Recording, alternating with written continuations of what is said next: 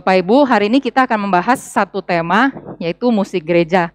Mungkin kita eh, nggak terlalu sering bahas tentang tema ini, tetapi kita memang sebenarnya di dalam ibadah kita pasti pakai yang namanya musik. Jadi kan musik itu selalu ada di dalam ibadah-ibadahnya Kristen. Bahkan nggak perlu ibadah-ibadah besar seperti ibadah hari Minggu atau KKR besar. Kita persekutuan pun ya misalnya orang ada rumah baru, lalu kita datang persekutuan kita akan nyanyi. Atau misalnya ada orang yang sudah eh, di ICU gitu, sedang menunggu kepada eh, Tuhan jemput gitu. Biasanya kita akan menyampaikan mazmur atau kita akan menyampaikan nyanyi-nyanyian gitu. Dan kita melihat bahwa musik gereja atau musik itu sebenarnya adalah suatu hal yang sangat dekat dalam kehidupan kita, baik menurut orang Kristen maupun orang yang yang bukan Kristen gitu. Jadi di dalam seluruh umat manusia, musik itu punya peranan yang sangat penting. Nah hari ini kita akan melihat eh, yang pertama mulai dari musik secara umum ya, menurut pandangan beberapa filsuf yang sudah sangat terkenal. Saya mengajak kita melihat di dalam slide. Eh, saya mem, eh, next slide. Oke, kita akan lihat dulu musik menurut pandangannya Plato. Gitu. Jadi Plato ini kan filsuf yang sudah sangat terkenal, yang dulu eh, hidup sudah lama sekali dari zamannya kita. Gitu. Dan dia mengeluarkan banyak teori-teori, bukan teori ya, maksudnya banyak pemikiran-pemikiran yang penting. Dan salah satunya juga berbicara soal musik.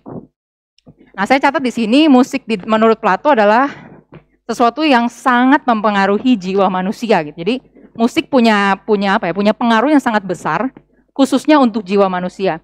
Nah, Plato itu membicarakan musik dengan kaitannya dengan edukasi. Jadi uh, bagi Plato kalau kamu mau ngomong pendidikan, itu harus juga bicara musik gitu. Jadi kalau mau bicara musik itu pasti ada kaitannya dengan pendidikan menurut Plato. Uh, jadi menurut Plato ada dua hal yang sangat penting di dalam edukasi anak-anak. Ini menurut pemikirannya dia ya. Yang pertama adalah gimnastik. Jadi ya uh, gerak tubuh, olahraga dan seterusnya itu adalah hal yang sangat penting untuk pertumbuhan tubuh anak-anak itu. Jadi anak-anak kan bertumbuh besar, makin lama kita makin tahu ya tangannya semakin panjang, kakinya semakin tinggi, lalu nanti badannya semakin besar. Nah, anak-anak itu perlu dilatih. Gitu. Jadi ya sebenarnya kita sebagai anak-anak juga dulu kita seharusnya perlu dilatih untuk berolahraga, untuk uh, punya gerakan tubuh yang baik sehingga kita punya tubuh yang bisa bertumbuh dengan sehat dan dengan sempurna. Itu menurut pemikiran Plato. Jadi yang hal pertama yang sangat penting di dalam edukasi adalah gimnastik. Gitu. Uh, gerak tubuh, olahraga dan seterusnya. Lalu bagi Plato yang kedua yang sangat mempengaruhi di dalam edukasi anak-anak adalah musik. Jadi kalau tadi gimnastik itu untuk mendevelop dia punya tubuh, jadi untuk memper, memperkembangkan tubuhnya dengan lebih baik. Musik itu adalah untuk memperkembangkan jiwanya. Jadi untuk menguatkan, untuk memperkaya seseorang punya jiwa, gitu. jiwa seseorang. To strengthen and enrich the soul atau the self gitu ya, karakter karakter di dalam diri dia, jiwa dia dan seterusnya.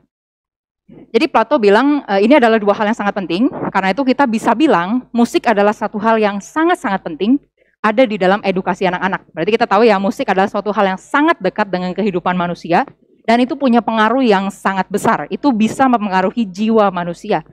Nah, pengaruh apa yang musik bisa berikan? Menurut Plato, kalau kita mau anak-anak itu bertumbuh menjadi anak-anak yang baik, maksudnya jiwanya itu bisa uh, menghasilkan sesuatu yang baik, bisa jadi orang yang berguna, bisa jadi orang yang bermanfaat bagi masyarakat, maka dia perlu yang namanya musik-musik yang baik. Plato mengatakan ya, uh, musik itu punya ability, maksudnya punya kemampuan untuk mengimitasi kita punya emosi. Jadi kita tahu ya manusia itu punya emosi yang terus bergerak. Kadang kita bisa marah, kadang kita bisa seneng, kadang kita bisa sedih dan seterusnya. Dan bagi Plato, musik itu bisa mengimitasi jiwa manusia itu, bisa mengimitasi emosi manusia. Karena itu, musik yang baik itu akan mempengaruhi jiwa manusia untuk jadi orang yang baik. Itu menurut dia. Untuk menjadi orang yang bisa berguna bagi masyarakat, untuk menghasilkan yang saya catat di sana ya, perasaan, natur, tindakan dan hasrat yang baik. Karena dia punya jiwa yang baik, jiwa yang dipengaruhi oleh musik yang baik, dia akan menghasilkan menghasilkan perasaan dia yang baik, naturnya jadi orang yang baik, tindakan-tindakannya juga baik dan dia punya hasrat yang baik. Dan bagi Plato yang paling penting adalah musik itu dapat mempengaruhi seseorang jadi punya kerinduan untuk mau belajar lebih. Jadi ini masih ada hubungannya sama edukasi ya musik itu mempengaruhi jiwa manusia supaya dia bisa bertumbuh dengan baik jiwanya dan setelah jiwanya bertumbuh dengan baik, dia akan punya kemauan untuk mau belajar lebih banyak lagi. Jadi dia akan mengejar pendidikan dengan lebih banyak lagi. Itu menurut pandangannya Plato. Tetapi sebaliknya, jika musik yang didengarkan atau musik yang diberikan kepada anak-anak kita adalah musik yang buruk atau bad music gitu ya, can have the opposite effect by having insufficient or too strong impact. Jadi bisa mempengaruhi jiwa seseorang, dia punya pengaruh yang besar dan pengaruh yang sangat kuat untuk menghancurkan orang tersebut. Kira-kira seperti itu. Jadi musik punya dua punya dua efek yang sangat besar. Kalau musik itu baik, dia akan mempengaruhi seseorang menjadi orang yang baik, berguna bagi masyarakat. Tetapi jika musik itu rusak, musik itu jelek, musik itu buruk gitu ya. Itu akan menghasilkan evil gitu, menghasilkan sesuatu kejahatan. Orang itu akan menjadi orang yang mudah menjadi seorang pemberontak yang tidak berguna bagi masyarakat dan seterusnya. Ini menurut pemikiran Plato. Lalu saya mengajak kita melihat dari pemikiran yang kedua yaitu dari Aristotle. Ini juga adalah filsuf, dia e, muridnya Plato di bawahnya ya. Jadi Aristotle itu juga mengatakan bahwa manusia musik itu tujuannya maksudnya musik itu ya sangat berpengaruh ke dalam jiwa manusia dan bagi dia musik itu tujuannya adalah apa? Pleasure. Sesuatu yang membahagiakan, menyenangkan, kebahagiaan, kesenangan, dan seterusnya. Itu yang ditujukan oleh musik. Dia kasih contoh seperti orang lagi kerja gitu ya. Misalnya kita kerja berat, kita kerja di, di bangunan, eh, kita ngangkat-ngangkat barang, atau misalnya kita kerja di kantor, kita dapat tekanan yang begitu berat. Apa hal yang bisa membuat kita tuh rest sebentar? Ya mungkin tidur misalnya ya. Misalnya kita kerja dari jam 8 pagi sampai jam 5 sore, kita mati-matian kerja untuk kantor, dapat uh, tugas yang sangat banyak. Lalu begitu pulang kita bisa tidur. Misalnya waktu malam jam 9 kita bisa tidur. Itu menurut uh, menurut biasa untuk kebanyakan orang ya, itu kan refreshing buat kita. Jadi kita bisa istirahat, kita bisa dapat pleasure di situ. Karena saya tadinya ditekan, sekarang saya bisa istirahat, saya bisa tidur. Itu nanti setelah saya bangun saya akan dapat pleasure. Saya akan dapat kesenangan, saya akan dapat kebahagiaan kira-kira seperti itu ya. E, dapat istirahat atau misalnya juga kita bisa pergi ke tempat relaksasi, misalnya kita bisa dipijit ya setelah sekian lama gitu. Kita mungkin bisa pijit, bisa refleksi kaki dan seterusnya itu kan menenangkan. Atau misalnya kalau ibu-ibu biasanya suka itu kan kerimbat ya, kepalanya tuh diurut dan seterusnya itu enak banget sih memang.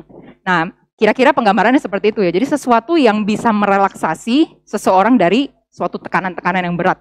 Bisa memberikan rest, bisa memberikan peristirahatan dan yang akhirnya menghasilkan pleasure, menghasilkan kesenangan dan kebahagiaan. Nah, bagi Aristotle, pleasure ini gitu, jadi kesenangan atau kebahagiaan ini itu akan mempengaruhi karakter manusia. Akan mempengaruhi karakter manusia. Kalau manusia itu nggak punya pleasure gitu, nggak punya true pleasure, dia akan jadi manusia yang kasihan gitu, depresi, tertekan dan seterusnya. Karena dia nggak punya kebahagiaan, nggak punya kesenangan.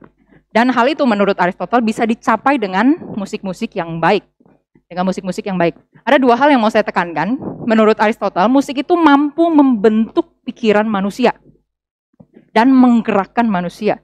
Lalu yang kedua, bisa membiasakan manusia menikmati true pleasure. Jadi dia juga percaya ya ada pleasure-pleasure yang nggak jelas gitu. Misalnya yang kesenangan-kesenangan yang nggak jelas mungkin ya. Kalau saya mau gambarkan misalnya seperti narkoba itu kan bukan suatu hal yang yang baik, bukan true pleasure gitu. Jadi bukannya karena kamu tertekan, kamu uh, ter, tertindas lalu kamu akhirnya ambil narkoba dan kamu akan menikmati kesenangan gitu.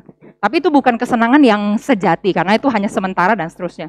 Dan bagi Aristotle, kalau kita mendengarkan musik yang baik, anak-anak itu diberikan musik yang baik, maka mereka akan bisa menikmati yang namanya true pleasure. Menikmati yang namanya kesenangan yang sejati, kesenangan yang tepat, kesenangan yang benar gitu kira-kira. Jadi uh, kita bisa konklusikan, ini mirip ya perkataannya dengan Plato bahwa musik itu bisa mengimitasi emosi manusia. Bisa mengimitasi. Jadi menurut dia benar-benar gerakannya itu bisa sama persis, bisa mirip sekali dengan pergerakan emosi manusia. Jadi baik atau tidaknya emosi manusia itu, itu bisa dilihat dari ketidakteraturan atau keteraturannya kira-kira ya. Kan kita bisa lihat ya kalau misalnya orang-orang tuh yang e, misalnya dari rumahnya atau kamarnya berantakan, dia tuh nggak pernah mandi atau apa. Jadi maksudnya hidupnya tuh berantakan, nggak pernah teratur. Kita kan bisa lihat ya, aduh nih, nih orang nih kayaknya nggak benar gitu. Maksudnya emosinya tuh dia nggak bisa kontrol, dia nggak bisa uh, itu ditunjukkan dengan bagaimana dia misalnya menyusun kehidupannya. Lalu misalnya dia misalnya dia punya planning ya. Nanti umur sekian saya mau kuliah, nanti saya akan selesai di umur sekian, lalu saya akan kerja di umur sekian dan seterusnya. Kalau orang yang nggak punya planning itu biasanya di, dianggap sebagai emosinya tuh kurang teratur, masih labil gitu. Jadi belum tahu saya mau apa, saya belum punya keteraturan dan seterusnya. Jadi bagi Aristotle, baik atau tidaknya emosi manusia itu bisa dilihat dari bagaimana cara dia hidup. Keteraturan hidupnya itu seperti apa. Jika emosi, emosi manusia itu tertata dengan rapi, maka manusia itu akan punya karakter yang tertata juga. Karakter yang baik, karakter yang bisa bermanfaat bagi masyarakat. Tapi kalau emosinya itu tidak tertata dengan baik, maka karakter yang dihasilkan adalah karakter yang bobrok. Karakter yang rusak, karakter yang e, bisa menghancurkan orang lain, Mbak. imitasi emosi, itu berarti harus musik yang baik. Karena kalau musik yang buruk itu hanya akan membentuk dia mencapai ketidakteraturan. Akan membentuk seseorang mencapai ketidakteraturan lalu dia akan jadi orang yang bobrok. Sedangkan musik yang baik itu akan membentuk karakter dia untuk jadi orang yang baik. Jadi musik yang baik adalah musik yang tanda petik ya punya keteraturan. Musik yang disusun dengan rapi, ritmenya, lalu e, nada-nadanya, melodinya semua tersusun dengan rapi dan dengan jelas. Nah, bisa saya simpulkan Ya, kita bisa lihat slide ya. Kedua orang ini, maksudnya kedua filsuf ini percaya bahwa musik dapat mempengaruhi karakter sebuah masyarakat. Karena itu musik itu harus dikontrol supaya dapat memberikan pengaruh yang baik, khususnya di dalam masyarakat. Musik yang baik juga itu akan menghasilkan masyarakat yang baik. Saya kasih contoh ya, misalnya eh, musik-musik rock gitu ya, musik yang benar-benar heavy metal atau rock. Itu kenapa itu bisa dibilang uh, dia nggak punya, maksudnya bisa dibilang itu musik tanda petik ya, musik pemberontakan. Kenapa? Karena kalau di dalam musik kita misalnya punya ini ya, punya uh, musik itu main di mana kira-kira. Jadi kalau misalnya main modelnya 4 per 4, ini biasa kita sering ketemu ya di beberapa lagu-lagu himne atau lagu-lagu yang lain, ini sering banget ketemu yang namanya 4 per 4. Nah 4 per 4 itu berarti di dalam satu bar ada empat ketuk. Satu bar ada empat ketuk ya. Satu, dua, tiga, empat. Nah, ketukan-ketukan ini itu ada peraturan untuk ngetuknya. Pengat, uh, ketukan yang lebih kencang, yang paling kencang di dalam 4 per 4 itu adalah ketukan pertama. Jadi ini yang punya bass paling kencang. Lalu ketukan dua itu hanya beat yang lewat, dan ketukan ketiga dia punya penekanan juga, tapi nggak seberat penekanan yang pertama. Jadi biasanya kalau kita hitung 4 per 4, itu hitungnya nggak bisa. Tuh, dua, tiga, empat, nggak bisa. Pasti kita hitung satu, dua, tiga, empat. Satu, dua, tiga, empat. Biasanya gitu. Jadi ada penekanan-penekanannya. Nah, sedangkan musik rock biasanya itu dia akan menggunakan ketukan-ketukan yang lain yang dikencangkan. Jadi nanti dia kadang-kadang bisa mengencangkan di ketukan kedua dan ketukan keempat. Ini menyalahi aturan musik yang sesungguhnya gitu, aturan musik yang teratur itu. Jadi kebanyakan nanti dia kalau pakai drum dia akan kencangkan di sini. Jadi dung tak, dung tak, dung tak, dung tak dibalik gitu. Kalau kita kan harusnya dem, pap, dem, pap. Kalau dia duntak, duntak, duntak dibalik. Nah itu bukan cuma sekedar, oh saya maunya main di yang kedua yang saya kencengin, di empat saya kencengin. Enggak, itu akan mempengaruhi kita punya jantung, kita punya emosi dan seterusnya. Menurut pemandangan yang tadi ya, pandangan dari uh, Plato dan dari Aristotle. Jadi kita bisa lihat musik secara langsung itu dapat mau meniru dan mewakili emosi kejiwaan seorang manusia. Dan selain itu, musik juga dapat mempengaruhi dan menggerakkan manusia. Itu musik secara umum ya menurut menurut dari Plato dan Aristoteles saya ambil yang um, bisa menggambarkan sekilas tentang musik secara umum. Nah, langsung kita akan masuk ke dalam yang namanya him. Ini adalah hal yang kita pakai terus di dalam gereja. Setiap minggu pasti kita nyanyi, di dalam persekutuan-persekutuan kita pasti nyanyi. Nah, saya akan ambil pengertian dari seorang himnologis atau musikologis. Next slide namanya Eric Rotley. Nah, Eric Rotley dia adalah seorang pendeta di gereja Inggris. Selain pendeta, dia juga adalah seorang komposer dan dia seorang musikologis. Jadi dia memang belajar musik khusus ya. Lalu dia eh, sangat terkenal dengan pemikiran-pemikirannya atau penelitiannya terhadap musik gereja. Akhirnya kan dia menuliskan beberapa buku. Nah, dia seorang profesor musik gereja juga di Westminster College, Choir College di Princeton di New Jersey. Jadi dia seorang yang sangat baik, seorang yang benar-benar memperhatikan musik-musik gereja. Nah, bagi Eric Rotley, musik itu uh, himne ya. Jadi himne itu adalah musik yang menyenangkan sekaligus membahayakan. Jadi ini kira-kira mirip dengan uh, Plato sama Aristotle tadi ya. Itu bisa menyenangkan, jadi bisa memberikan true pleasure atau sekaligus bisa membawa bisa memberikan kebahayaan. Ya. Jadi bisa membahayakan, bisa menjadi uh, evil gitu, menjadi suatu kejahatan, sesuatu hal yang buruk. Nah, bagi dia himne juga punya dua hal itu. Musik yang menyenangkan sekaligus membahayakan. Kenapa bisa disebut menyenangkan sekaligus membahayakan? Karena prinsipnya mirip seperti tadi. Kalau memang musik itu adalah musik yang baik, ditata, melodinya ditata dengan baik, lalu kata-katanya disusun dengan baik, maka musik itu akan mempertumbuhkan iman jemaat. Akan membuat jemaat semakin kenal Tuhan dan seterusnya. Nanti kita akan bahas lebih lanjut ya. Sedangkan musik yang nggak jelas, atau misalnya kita bilang tidak diambil dari prinsip-prinsip firman Tuhan, atau pakai bahasa mungkin bidat, itu adalah musik yang bobrok. Misalnya contoh ya, saya kasih ya. Misalnya ada musik yang bilang Yesus itu bukan Tuhan, lalu kamu akan nyanyikan terus. Itu kan kita sudah tahu jelas ya, itu bidat. Mana ada orang Kristen bilang Yesus bukan Tuhan. Kita pasti percaya Yesus adalah Tuhan. Jadi kalau ada musik-musik yang mempengaruhi kita seperti demikian, itu akan membahayakan kerohanian jemaat, akan membahayakan bahkan kerohanian kita. Itu kira-kira menurut Eric Lotley. Lalu yang kedua, um, himne adalah puisi yang dinyanyikan. Jadi himne itu kalau kita lihat, kita akan lihat eh, kata-kata di dalam himne itu adalah kata-kata puisi. Jadi kadang-kadang kalau kita baca ya, misalnya lagu besar Allahku, bila aku lihat bintang gemerlapan dan guru riuh e, gemetar dan seterusnya. Itu kan kalimat-kalimat puisi gitu ya. Padahal kan sebenarnya kalau misalnya ada petir, aku mendengar guru duar gitu. Itu kan kalimat yang lebih bukan puisi, tapi biasanya lagu-lagu him itu dituliskan dengan bentuk puisi. Jadi itu bisa dibilang adalah puisi yang dinyanyikan atau kalau di dalam bahasa musiknya itu art art song ya gini. Art song. Jadi artnya itu uh, ya seni gitu ya dinyanyikan kira-kira. Uh, puisi yang dinyanyikan. Itu nyanyian yang uh, puisi yang dinyanyikan kira-kira. Lalu yang berikutnya yang ketiga, himne itu adalah nyanyian populer dari umat Kristen. Nyanyian populer, ya pastilah ya. Kalau saya sebut misalnya How Great Thou Art, pasti kita sudah tahu. Itu sangat populer mau di gereja mana pun, khususnya Injili. Orang sudah tahu How Great Thou Art, atau dalam bahasa-bahasa lain kita sudah tahu itu banyak diterjemahkan. Jadi himne itu adalah nyanyian populer dari umat Kristen. Sangat disukai, bisa sangat dimengerti. Itu saya kasih contoh di bawahnya ya, folk song. Jadi folk song itu adalah kalau kita tahu itu kayak lagu adat atau lagu lagu di dalam budaya-budaya. Misalnya kalau Indonesia tuh ada lagu-lagu misalnya ampar-ampar pisang dan seterusnya gitu ya. Itu kan bisa dibilang folk song gitu ya. Lagu yang sangat terkenal, kita nadanya dengar pun kita sudah tahu dan kita bisa langsung mengalunkan nada itu kira-kira. Nah, himne itu disebut sebagai folk songnya Kristen yaitu nyanyian yang dimengerti dan bisa disukai oleh orang. Terkadang melodinya bahkan bisa mencapai kepuasan yang lebih dibanding kata-katanya. Jadi kalau saya misalnya nyanyikan ya um, lagu ini misalnya.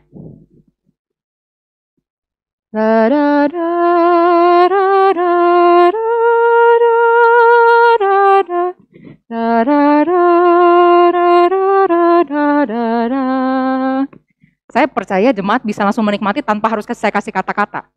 Jadi misalnya saya nyanyikan lalu jemaat, oh sorry sorry ya saya kurang-kurang bisa menikmati. Coba kasih saya kata-katanya dulu baru saya bisa menikmati. Saya percaya nggak begitu. Bahkan orang lebih menikmati musiknya daripada kata-katanya. Kadang-kadang orang kan kalau misalnya ibu-ibu ya sambil cuci piring gitu, nanti bisa sambil nyanyi tuh, bisa sambil ngalun. Misalnya na na na na na na na na na na na. Kadang-kadang ibu-ibu bisa seperti itu ya, atau bahkan bapak-bapak waktu bawa mobil, bawa motor. Itu menunjukkan bahwa himne adalah nyanyian yang dimengerti dan disukai dan bahkan ya melodinya tuh bisa lebih memuaskan daripada syairnya, bisa lebih menggerakkan jiwa kita kira-kira seperti itu. Lalu next slide. Ini adalah tambahan uh, himne itu adalah nyanyian ibadah. Jadi kita udah udah tahu jelas ya, himne itu adalah nyanyian ibadah. Itu berarti adalah bentuk pemujaan kepada Allah. Jadi kita tahu misalnya himne himne tanah air misalnya Indonesia Raya atau misalnya maju tak gentar itu kan himne-himne tanah air untuk memuja bangsa kita. Jadi kan kita akan lihat dari kata-katanya misalnya Garuda Pancasila akulah pendukungmu. Itu kan pemujaan kepada Garuda Pancasila kira-kira ya. Kepada Indonesia. Lalu misalnya Indonesia Raya. Indonesia tanah airku, tanah tumpah darahku. Itu kan bicara tentang Indonesia. Jadi kita memuja Indonesia. Nah, himne himne yang di dalam ibadah itu berarti adalah pemujaan seorang Kristen, pemujaan umat Tuhan kepada Tuhannya gitu. Pemujaan umat Allah kepada Allahnya. Lalu yang kedua, nyanyian ibadah itu berarti berbeda dengan nyanyian perayaan atau nyanyian festival. Jadi kita bisa lihat nih dari mana, eh, saya mengajak kita buka dari 2 Samuel 6 ayat 14 hingga ayat yang ke-19. 2 Samuel 6 ayat 14 sampai 19.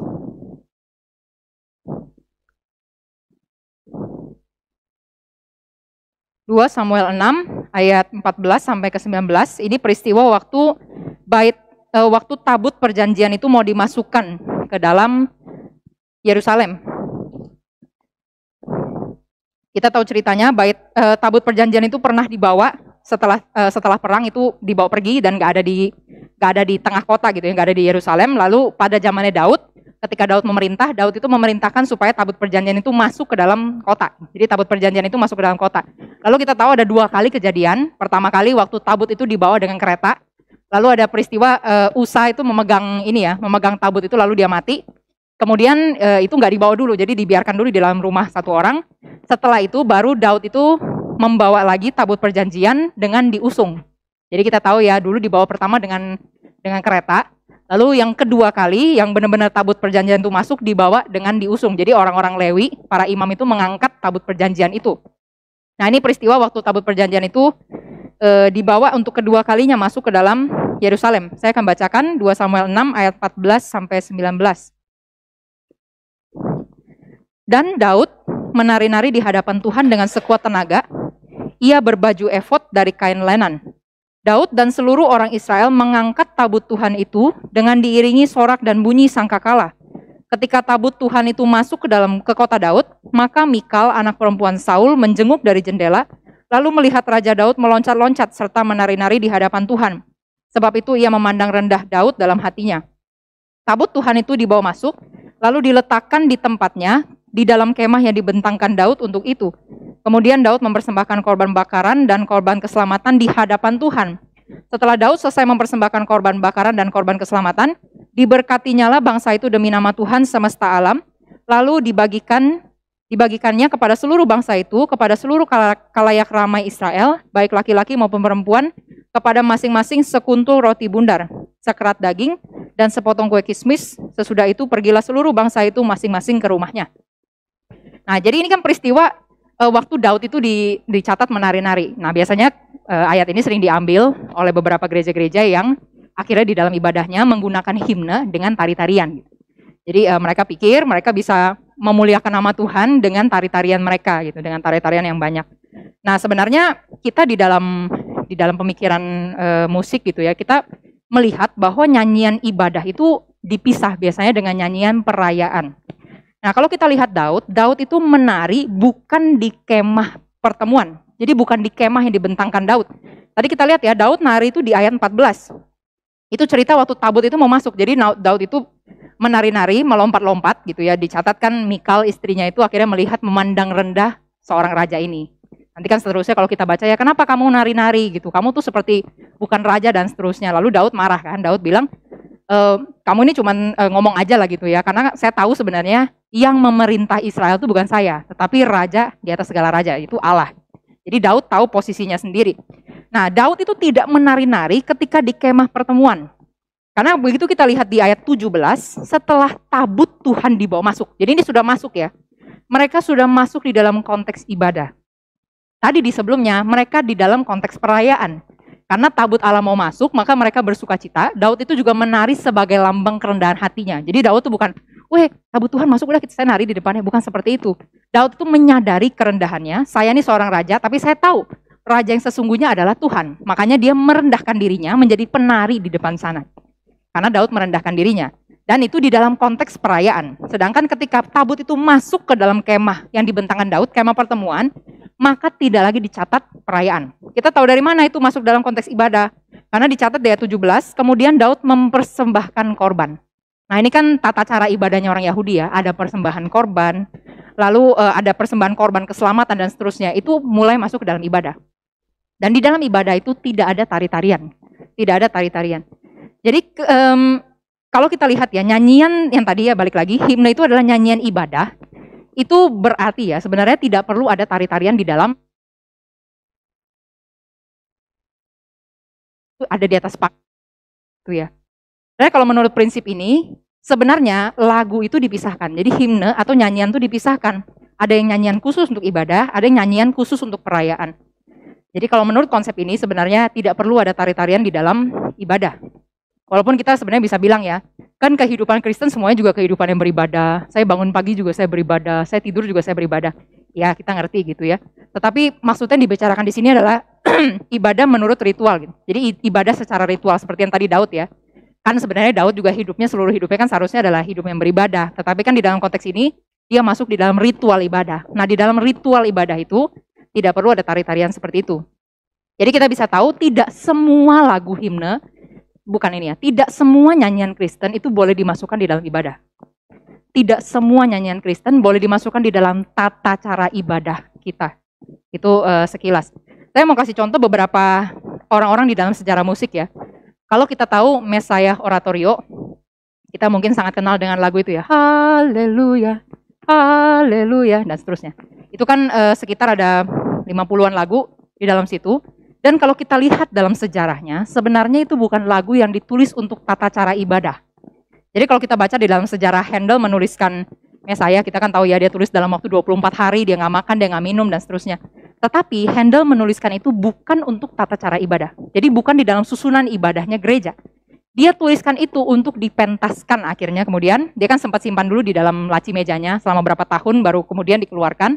Dan itu dipakai untuk penggalangan dana sebenarnya. Jadi lagu ini pertama kali dipakai untuk penggalangan dana bagi sebuah rumah sakit. Jadi rumah sakit itu lagi butuh penggalangan dana, lalu Ender keluarkan lagunya yang Messiah Oratorio ini dan ternyata sukses besar. Banyak dana akhirnya bisa masuk membantu rumah sakit itu.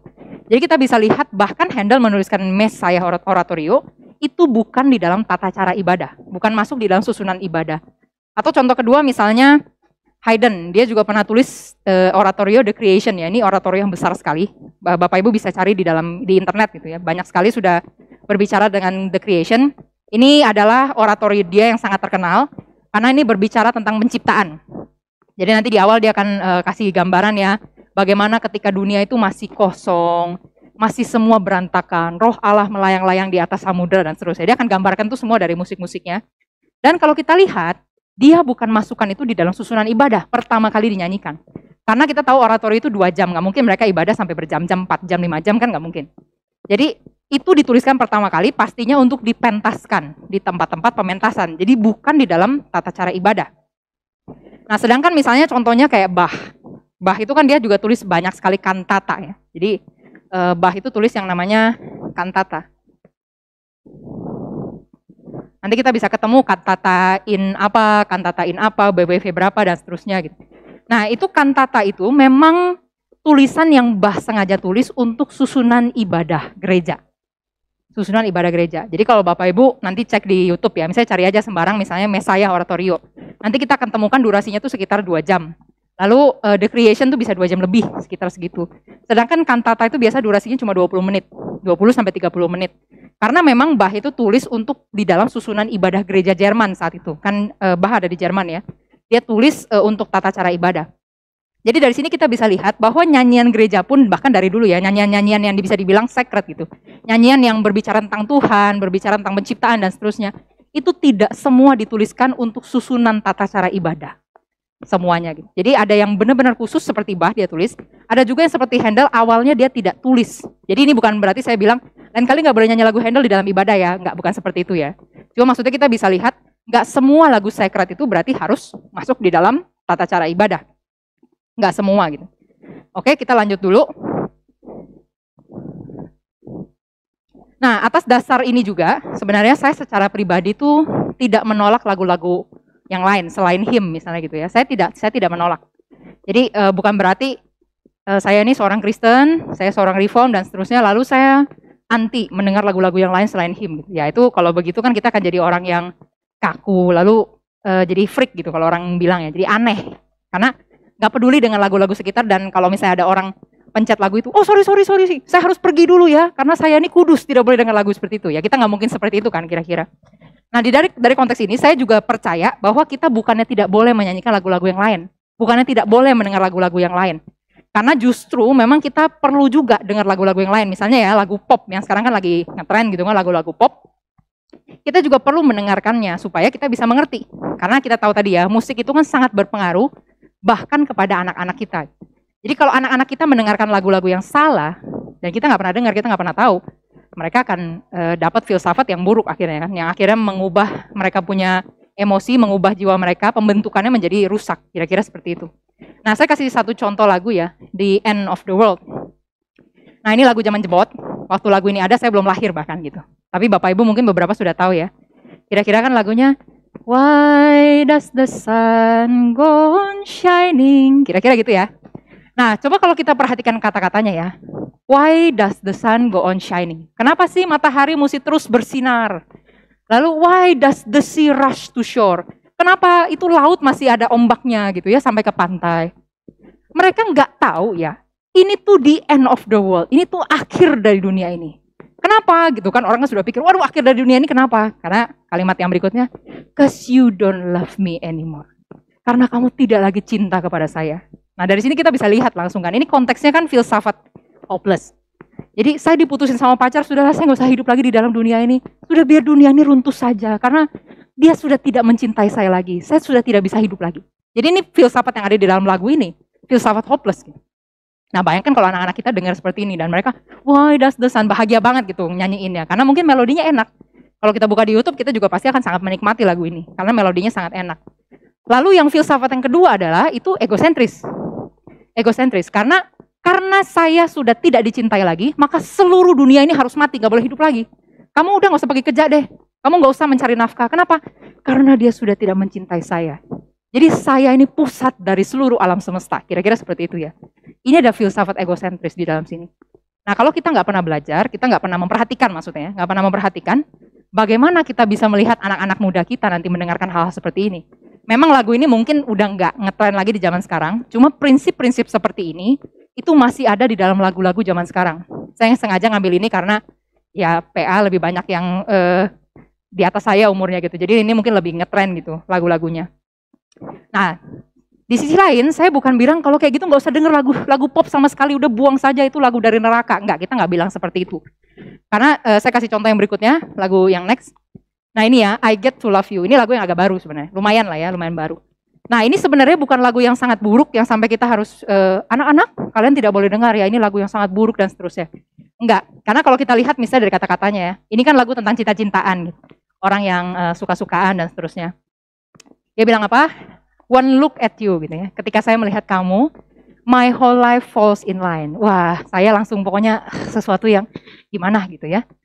Lalu apa yang dilakukan? I prayed for you. Saya doain tentang kamu. Jadi saya doa dulu nih. Baru saya bilang kamu jadi punya saya. Jadi kan kira-kira kan dia udah doa dulu, dia sudah pikirkan dulu, dia sudah bergumul dulu, baru dia berani pacaran dengan orang ini. Kira-kira seperti itu. Lalu setelah dia pacaran ya ini kan kalimat puitis ya. Aduh aku nggak percaya semua ini terjadi. Saya bisa jadi sama kamu. Saya bisa suka sama sama kamu. Lalu di bagian berikutnya dia ngomong lagi, I get to love you. Saya harus mencintai kamu dan seterusnya ya karena ya ini puitis. Karena itu adalah hal terbaik yang bisa saya lakukan dan seterusnya. Lalu aku harus mencintai kamu karena itu adalah janji yang sudah saya bikin di hadapan kamu. Kira-kira gitu. Lalu whatever may come, apa pun yang terjadi, hatiku itu akan selalu memilih kamu. Jadi hati kamu yang akan selalu pilih, kamu yang akan jadi pilihanku. Uh, selama-lamanya aku akan jadi milikmu, selama-lamanya aku akan berkata, I do, aku mau dan seterusnya. Nah mungkin kalau bahas tentang selama-lamanya, kita ketahukan di dalam kekristenan, nanti setelah kita mati, ya kita semua terpisah. Karena di dalam janji nikah Kristen juga kita tahu, uh, saya akan mendampingi kamu dengan setia sampai kematian memisahkan kita. Jadi nggak ada yang sebenarnya tanda petik bisa dibilang selama-lamanya. Nah, cuman kalau mau saya bilang sebenarnya lagu ini agak lumayan ya, nggak sesuatu hal yang harus ini nggak boleh dinyanyikan, lalu anak-anak nggak boleh dengar dan seterusnya. Saya rasa agak oke okay, gitu. Asal kita sebagai orang tua tuh kita tahu, kita sadar, mereka punya pengertian yang benar juga ketika mendengarkan lagu seperti ini atau menyanyikannya. Next, saya kasih contoh satu lagi. Ini lagu yang uh, bicara soal ini ya, um, situasi dunia gitu. Ini kan kalau Bapak Ibu kenal Ebit G. Ade. Itu sangat terkenal ya, berita kepada kawan. Kan kita sering dengar ya, perjalanan ini, ya itu kan sering ada di TV. Terasa sangat menyedihkan. Kalau kita baca ya, sebenarnya teksnya itu bukan teks yang buruk. Karena dia sebenarnya lagi cerita apa? Lagi cerita tentang gimana hidup manusia gitu. Jadi manusia ini sudah nggak peduli dengan alam. Kamu, dia seperti cerita sama temennya ya. Jadi waktu saya pergi, aduh itu suatu hal yang sangat menyedihkan. Kamu nggak ikut saya sih. Jadi eh, saya sekarang cuma bisa cerita sama kamu. Kamu lihat tanah itu kering. Berarti manusia tuh nggak lagi memelihara alam kan kira-kira. Tanah itu kering. Aduh tubuhku terguncang di hepas batu jalanan. Itu kan kalimat puitis ya. Hatiku bergetar, nampak ke, ke- nampak kering rerumputan. Jadi sudah nggak di, dirawat lagi, manusia sudah nggak peduli, manusia sudah yang tinggal merusak aja kira-kira begitu. Lalu dia bilang perjalanan ini pun menjadi seperti jadi saksi. Gembala kecil menangis sedih.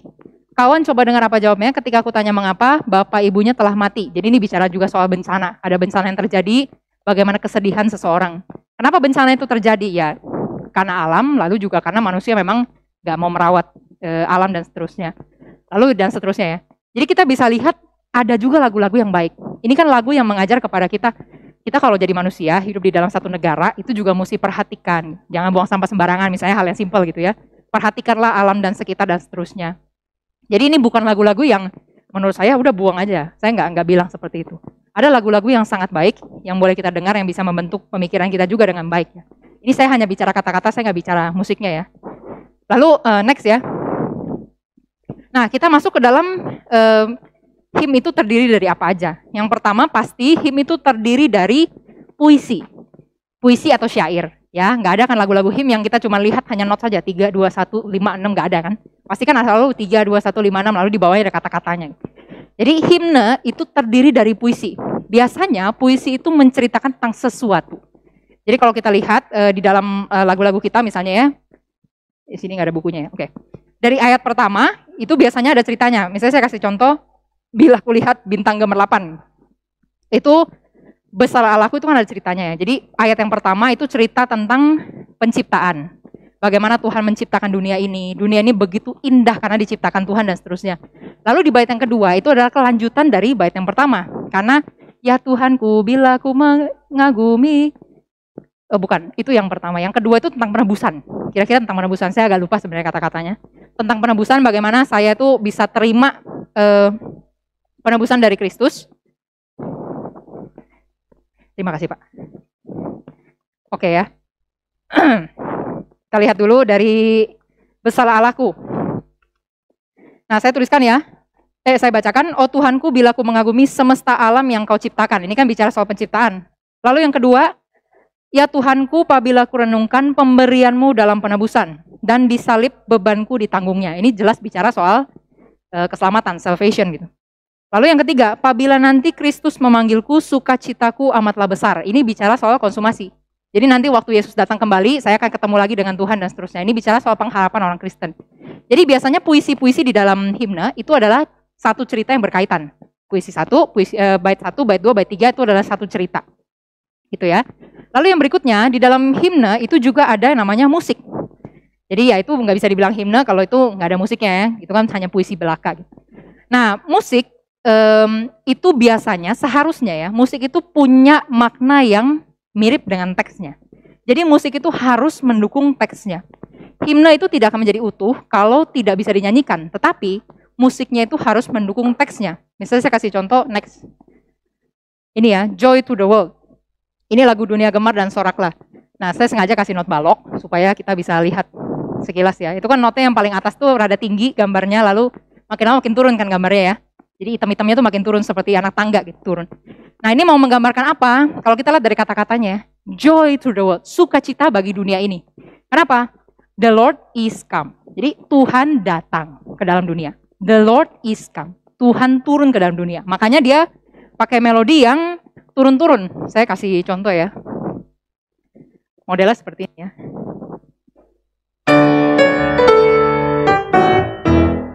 Jadi nadanya turun. Kira-kira gitu ya. Oke, saya belum terlihat di kamera. Oke. Ya, jadi tadi nadanya turun-turun ya seperti yang ada tercatat di sana. Di belakang saya berarti Eh, karena mau menunjukkan apa? Tuhan itu turun gitu. Jadi Tuhan itu turun, saya nggak bisa pakai nada. Saya nggak bisa pakai nada gitu. Do, re, mi, fa, sol, la, si, do. Itu kan ya Tuhan naik gitu. Ini kan sedangkan gambarnya Tuhan turun, makanya dia pakai nada. Terus let earth, let earth receive her king. Jadi biarlah dunia itu menerima Tuhannya. Pakai nada yang naik.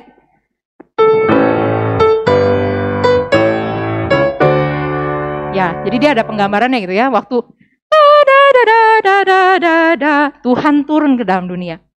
Kalau pakai uh, uh, pem pemahaman patung gitu, patung pernah kasih penjelasan ya. Uh, lalu Tuhan itu datang ke dalam dunia supaya mengangkat kita naik ke surga. Makanya dia pakai nadanya naik. Da da da da da da da da da. Jadi kita bisa lihat ya dari titik-titiknya itu hitam-hitamnya itu turun turun turun turun turun lalu naik lagi ke atas. Nah, di sini kita bisa ngomong uh, bisa lihat bahwa musik itu sebenarnya harus cocok dengan makna yang dikandung oleh teksnya. Karena itu nggak bisa sembarang kita mau nyanyi pakai musik apa. Misalnya saya mau nyanyi Joy to the World pakai musik yang lain, itu nggak cocok gitu. Karena ya musik itu harus cocok dengan si uh, puisinya itu. Lalu yang berikutnya, yang ketiga, kita balik lagi ke slide yang tadi ya. Musik itu juga, ha, uh, himne itu juga harus punya namanya teologi. Ya, jadi nggak bisa sembarang kata-kata. Saya mau masukkan kata-kata apa pun saya masukkan itu nggak bisa. Karena mungkin jiwa saya sedang ini dan seterusnya. Misalnya seperti tadi ya, lagu The End of the World. Boleh nggak saya masukkan? Karena ini saya lagi berduka. Tuhan kan mengerti kedukaan saya. Saya lagi sedih gitu. Lalu saya masukkan lagu ini untuk puji-pujian kepada Tuhan. Ya jelas nggak bisa gitu. Karena itu teologinya seperti apa, filsafatnya sudah rusak dan seterusnya. Jadi, uh, himne itu harus punya teologi yang benar. Teologi yang pastinya berdasarkan pada firman Tuhan karena apa? Karena himne itu akan membantu manusia sebenarnya mengembangkan atau mempertumbuhkan imannya kepada Kristus. Jadi kalau teologinya sesat, ya imannya nggak akan bertumbuh. Kira-kira seperti itu ya. Himne dapat mengajarkan kepada kita misalnya sistematik teologi. Uh, teologi teologi sistematik ya. Misalnya kalau yang kita kenal dengan CFRC, Creation, Fall, Redemption, Consummation. Jadi penciptaan, kejatuhan, keselamatan, dan konsumasi. Eskatologi nanti waktu Tuhan panggil lagi itu sebenarnya bisa dijelaskan dalam sebuah himne. Uh, next ya. Ya, yang ini ditayangkan. Nah, ini lagu yang tadi. Dari bait yang pertama kita bisa lihat tentang penciptaan. Jadi ini cerita dari kejadian ya. Kalau kita lihat ada guru bersahutan digambarkan dengan eh, puisi-puisi uh, yang sangat indah. Lalu yang kedua tentang uh, penebusan Kristus, tapi digambarkan dengan model perenungan. Jadi seperti seorang tuh sedang merenung, seorang Kristen yang sedang merenung uh, tentang keselamatan jiwanya. Lalu yang ketiga, nanti. Ini pengharapan. Jadi setelah saya ditebus oleh Tuhan Yesus, terus nggak selesai gitu. Karena nanti Tuhan Yesus akan datang kembali yang kedua kali. Dan saat itu dia akan memanggil saya. Saat itu saya akan punya sukacita yang besar. Itu kira-kira ya. Saya akan punya sukacita yang, yang besar. Karena di situ akan terkabul pengharapan saya. Apa? Saya bisa ketemu dengan Tuhan. Jadi ini bicara soal sistematik teologi kan sebenarnya. Ini bicara soal teologi yang sangat kental tentang hidup manusia, tentang alam semesta yang Tuhan ciptakan. Nah itu uh, satu contoh ya. Jadi himne itu harus punya yang pertama tadi puisi, karena kata-kata ya. Lalu yang kedua dia harus punya musik yang mendukung puisi itu. Dan yang ketiga puisi itu harus punya teologi yang benar dan musiknya bahkan harus punya teologi yang benar. Gak bisa sembarangan pakai sembarang musik. Itu yang kita bisa lihat. Lalu yang berikutnya, next, kita akan lihat tujuan himne. Ini dari James Rolling Sidnor ya. Dia juga seorang yang sangat baik. Um, kita akan melihat tujuan himne yang pertama adalah memberikan kesempatan kepada umat Kristen untuk mengidentifikasikan diri dengan pengalaman iman yang dialami baik oleh diri mereka sendiri maupun oleh orang lain. Jadi ini dia bisa mengidentifikasikan. Contohnya seperti apa? Misalnya kita dengar lagu Nyamanlah Jiwaku. Nyamanlah Jiwaku itu kan backgroundnya tentang si Horatio Spafford. Dia seorang yang punya apa punya kekayaan, dia seorang pengacara yang sangat sukses dia punya keluarga yang sangat baik, istrinya, lalu dia punya empat anak perempuan dan satu anak laki-laki. Gitu. Jadi memang keluarga yang sangat baik, keluarga yang sangat bahagia. Cuman uh, di dalam kisah hidupnya dia tuh kena kebakaran yang sangat besar. Jadi kalau kita cari di internet itu ada yang namanya The Great Chicago Fire, The Great Fire on Chicago atau apa. Jadi waktu itu di Chicago, di kota dia itu ada kebakaran yang sangat besar itu menghanguskan berapa ribu rumah di sana, termasuk rumahnya dia. Dan uh, sebelumnya itu, sebelum kebakaran itu sebenarnya anak yang laki-laki itu satu-satunya itu meninggal karena memang ada sakit. Jadi istrinya itu begitu stres dan seterusnya. Lalu setelah itu belum selesai gitu ya. Jadi setelah dia bangkrut dia belum selesai. Uh, istrinya itu kan karena depresi ya, karena kehilangan harta, lalu anaknya juga sudah mati dan seterusnya. Akhirnya dia uh, mengusahakan untuk ayolah kita pergi liburan. Kita pergi liburan supaya kamu refreshing. Jadi dokternya bilang kamu harus refreshing, kita pergi liburan. Tapi sekalian gitu, jadi kita sekalian pelayanan sama pendeta di El Moody. Itu seorang pendeta yang juga sangat terkenal dalam sejarah. Kita sekalian pergi pelayanan sama dia. Uh, lalu ketika mau berangkat, si Spafford bilang, e, saya ada urusan mendadak gitu. Jadi kamu pergi dulu lah. Dia bilang sama istri dan empat anaknya, kamu pergi dulu, nanti saya nyusul. Zaman dulu nggak ada nggak ada pesawat ya, jadi kan mereka naik naik uh, kapal. Lalu ya singkat cerita kapal itu kecelakaan, hanya istrinya yang selamat, empat anaknya meninggal. Nah, lalu dia baru dari sejak itu uh, kemudian waktu dia menyusul istrinya, waktu dia menyusul istrinya naik kapal, itu si nahkoda kapalnya bilang ini loh tempat kejadian kemarin kapal itu jatuh, kapal itu tenggelam. Lalu di sana uh, Spafford mulai merenungkan, mulai menggumulkan, lalu muncullah lagu ini gitu ya, nyamanlah jiwaku. Kata-katanya kan bila damai mengiring jiwaku waktu sukacita itu ada di sekitar aku ya. Jadi hidupku damai seperti sungai mengalir tenang. Atau bahkan seperti ombak yang sedang bergulung gitu. Waktu jiwaku tuh sedang ditempa e, begitu banyak kedukaan seperti ombak yang bergulung yang mengerikan gitu. Dan Spafford bilang apa? Saya tahu gitu. Tuhan sudah mengajar saya untuk bilang nyamanlah jiwaku. It is well with my soul. Jiwa saya nggak apa-apa. Karena apa? Karena ada tangan Tuhan dan seterusnya. Nah, waktu kita menyanyikan lagu ini atau waktu kita mendengar lagu ini, biasanya kita akan bisa mengidentifikasikan diri kita. Misalnya contoh ya, um, ada dulu saya pernah kenal satu keluarga ya, itu juga um, sangat berat hidupnya. Gitu. Jadi suami istri, dia punya satu orang anak, perempuan itu baru enam bulan anaknya meninggal. Gitu. Memang ada ada kelainan waktu lahir, lalu dia meninggal. Kemudian saat dia meninggal, eh, istrinya tuh sedang hamil anak kedua.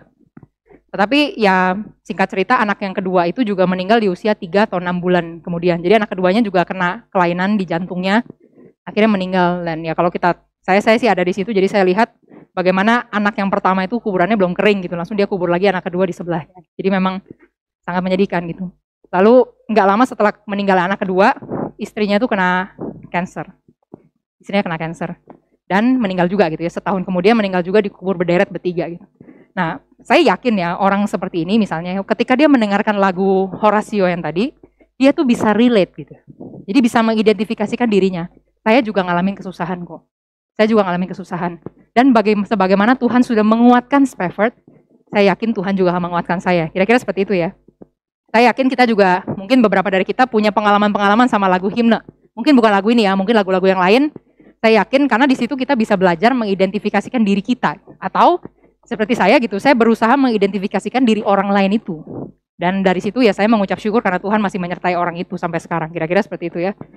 Lalu yang next yang kedua, kita lihat slide lagi. Tujuan himne yang kedua adalah merasakan pengalaman para penulis himne akan kasih Allah yang terus-menerus menyertai dan menguatkan mereka melalui syair dan musik yang diciptakan.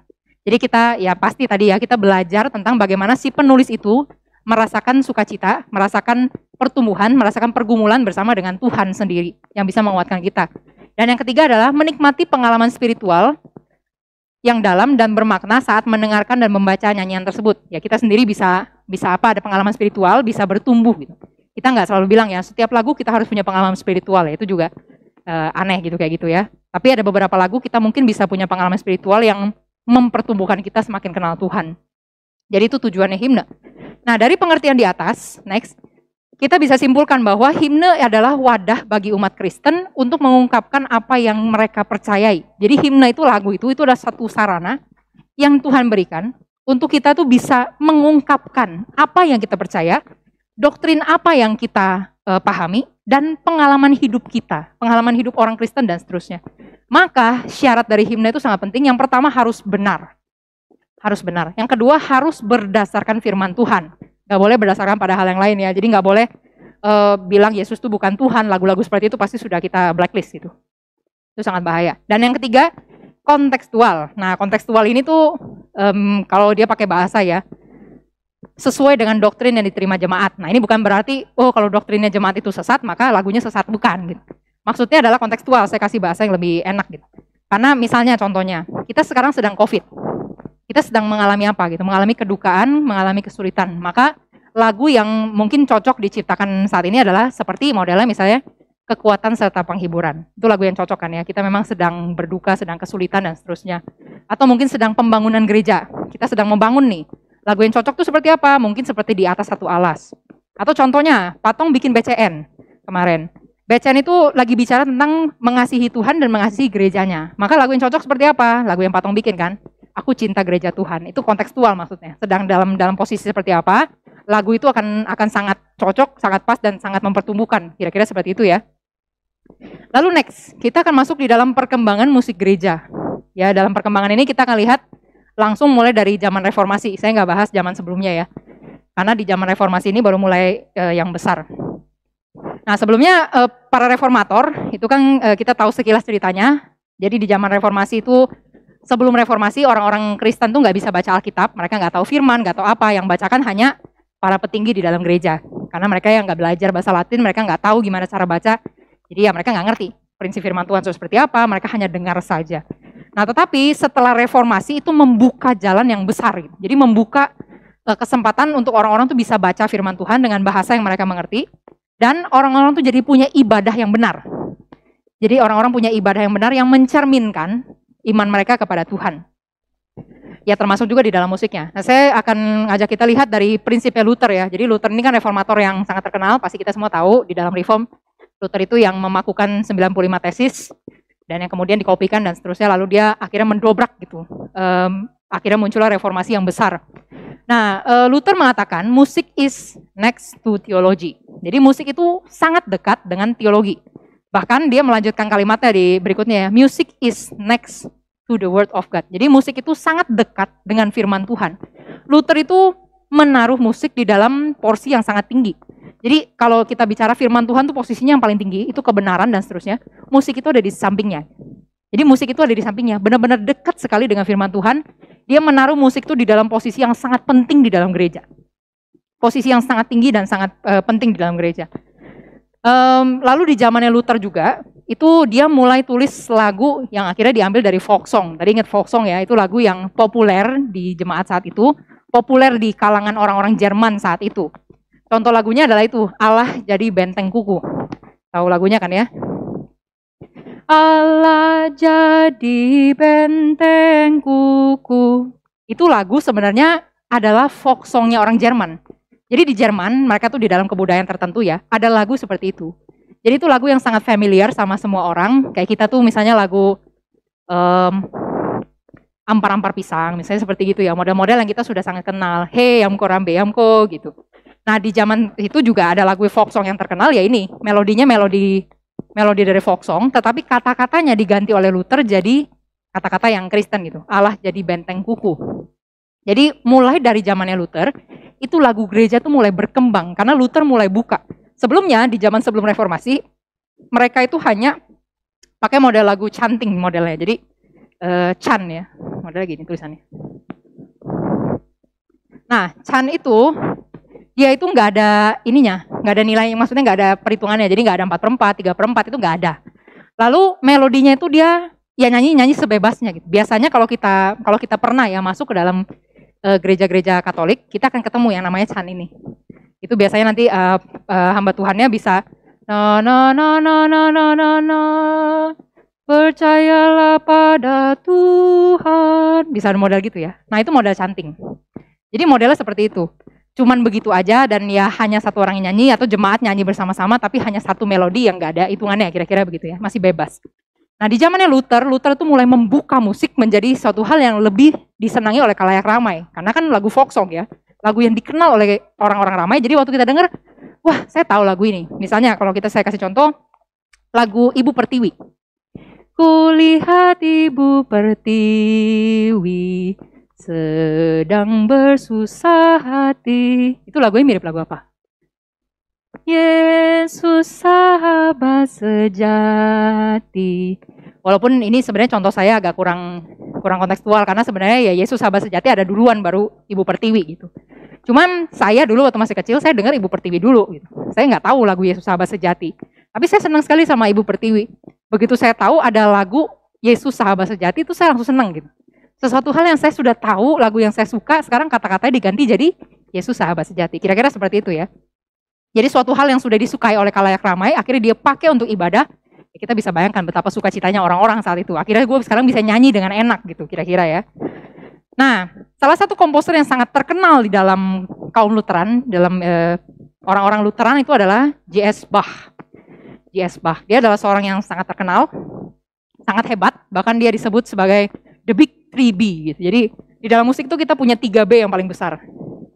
Siapa aja? Bach, Beethoven, yang keempat itu Brahms. Ini 3B yang paling gede gitu di dalam uh, musik ya. Jadi ini dari dari orang-orang barok dari zaman barok, uh, yang ini dari zaman klasik dan romantik. Yang ini jelas romantik banget ini. Jadi ini klasik awal, ini romantik yang kemudian. Ini dua tiga orang yang sangat besar dan Bach itu termasuk di salah satunya. Dia seorang yang sangat-sangat besar. Kalau kita dengar patong, patong itu pasti sangat bilang ya ini Bach itu orang yang sangat diberkati Tuhan, orang sangat besar dan seterusnya. Itu bukan bohong gitu, itu beneran gitu. Jadi Bach itu benar-benar orang yang sangat besar. Dia menulis banyak sekali musik, khususnya yang tadi saya bilang itu kantata. Nah kantata ini dituliskan Bach itu setiap minggu beda-beda. Jadi dia pasti akan tulis satu kantata, misalnya kantata nomor satu untuk ibadah tanggal, misalnya tanggal 11 Juli tahun berapa gitu, dia tulis. Nanti ibadah tanggal 18 Juli, dia tulis lagi kantata berikutnya. Jadi kantata yang berbeda. Setiap minggu dia pasti tulis satu kantata. Kalau kita belajar kantatanya bah itu setengah mati. Pasti kita yang bukan orang musik akan uh gitu kan. Orang musik pun belajarnya tuh mesti usaha. Tapi kita bayangkan di zaman itu bah itu tulis setiap minggu. Jadi kalau saya dengar cerita dari guru-guru saya ya, dia bilang bah itu setelah, setelah uh, selesai hari Minggu, dia akan mulai tulis lagi. Hari Rabu baru selesai. Setelah hari Rabu selesai, dia akan kasih ke orang-orang. Dulu nggak ada kopian ya. Jadi hanya ada orang yang bisa tiru-tiru, lalu mulai di copy, tapi nggak bisa copy banyak. Jadi mereka akan melihatnya itu berbarengan gitu. Jadi satu-satu ini bisa ada tiga orang itu yang di sampingnya melihat sama-sama. Dan lagu itu dipelajari secepat mungkin hari Minggu ditampilkan. Jadi itu di zamannya Bach seperti itu. Dia tulis banyak sekali lagu kantata dan banyak juga yang hilang, banyak juga yang hilang. Karena kita tahu di dalam sejarah bahwa itu setelah dia mati, musiknya itu tidak terkenal lagi. Jadi setelah dia mati, musiknya itu nggak didengarkan orang lagi, bahkan hampir hilang. Sampai kemudian 100 tahun berikutnya ketemu yang namanya Felix Mendelssohn. Nah, Mendelssohn ini kemudian adalah orang yang mempopulerkan kembali lagu-lagunya Bach. Jadi sebelum uh, setelah Bach mati itu nggak terkenal lagu dia, tetapi sejak ada Mendelssohn dia mempopulerkan kembali lagu-lagu Bach. Jadi dia yang mementaskan kembali lagu-lagu Bach, orang jadi suka, akhirnya Bach mulai terkenal. Dia juga kumpulkan banyak lagu-lagu Bach, tapi akhirnya kemudian banyak yang hilang. Kita tahu ya dari beberapa penulis pasti ada yang hilang gitu. Banyak yang hilang juga. Nah, kembali lagi ke Bach, dia punya apa ya? Dia menuliskan banyak sekali lagu dan setiap minggu dia pasti tuliskan kantata satu. Dan kalau kita lihat lagunya, lagu Bach itu bukan cuma kantata doang. Jadi ada yang lain-lain ya. Dia khusus uh, tulis buat karya organ, dia juga tulis buat karya harpsichord. Harpsichord itu nenek moyangnya piano. Jadi kalau kita cari di internet nanti kita akan ketemu ya. Suaranya tuh seperti gitar yang dipetik. Itu suara harpsichord. Uh, dia dulu tulis banyak karya untuk itu dan karena dia tulisnya untuk setiap minggu itu bukan berarti dia tulisnya abal-abal. Karena kalau kita ngerti karya-karyanya Bach, kalau kita dengarkan saja, itu adalah karya-karya yang kompleks. Jadi ini orang tuh one of a kind kalau dibilang ya. Setelah dia mati tuh ya nggak ada mungkin yang sebesar dia lagi dia memang besar sekali gitu memang anugerah yang Tuhan kasih ke dia tuh benar-benar besar sekali dia tulis tuh dengan teknik yang sangat banyak macam. Kalau kita mungkin orang musik kita bisa cari. Kalau ya bapak ibu juga mau cari boleh juga. Dia banyak tulis misalnya model polifonik gitu ya. Ini saya kasih sedikit ya. Jangan puyeng ya bapak ibu jangan mabok.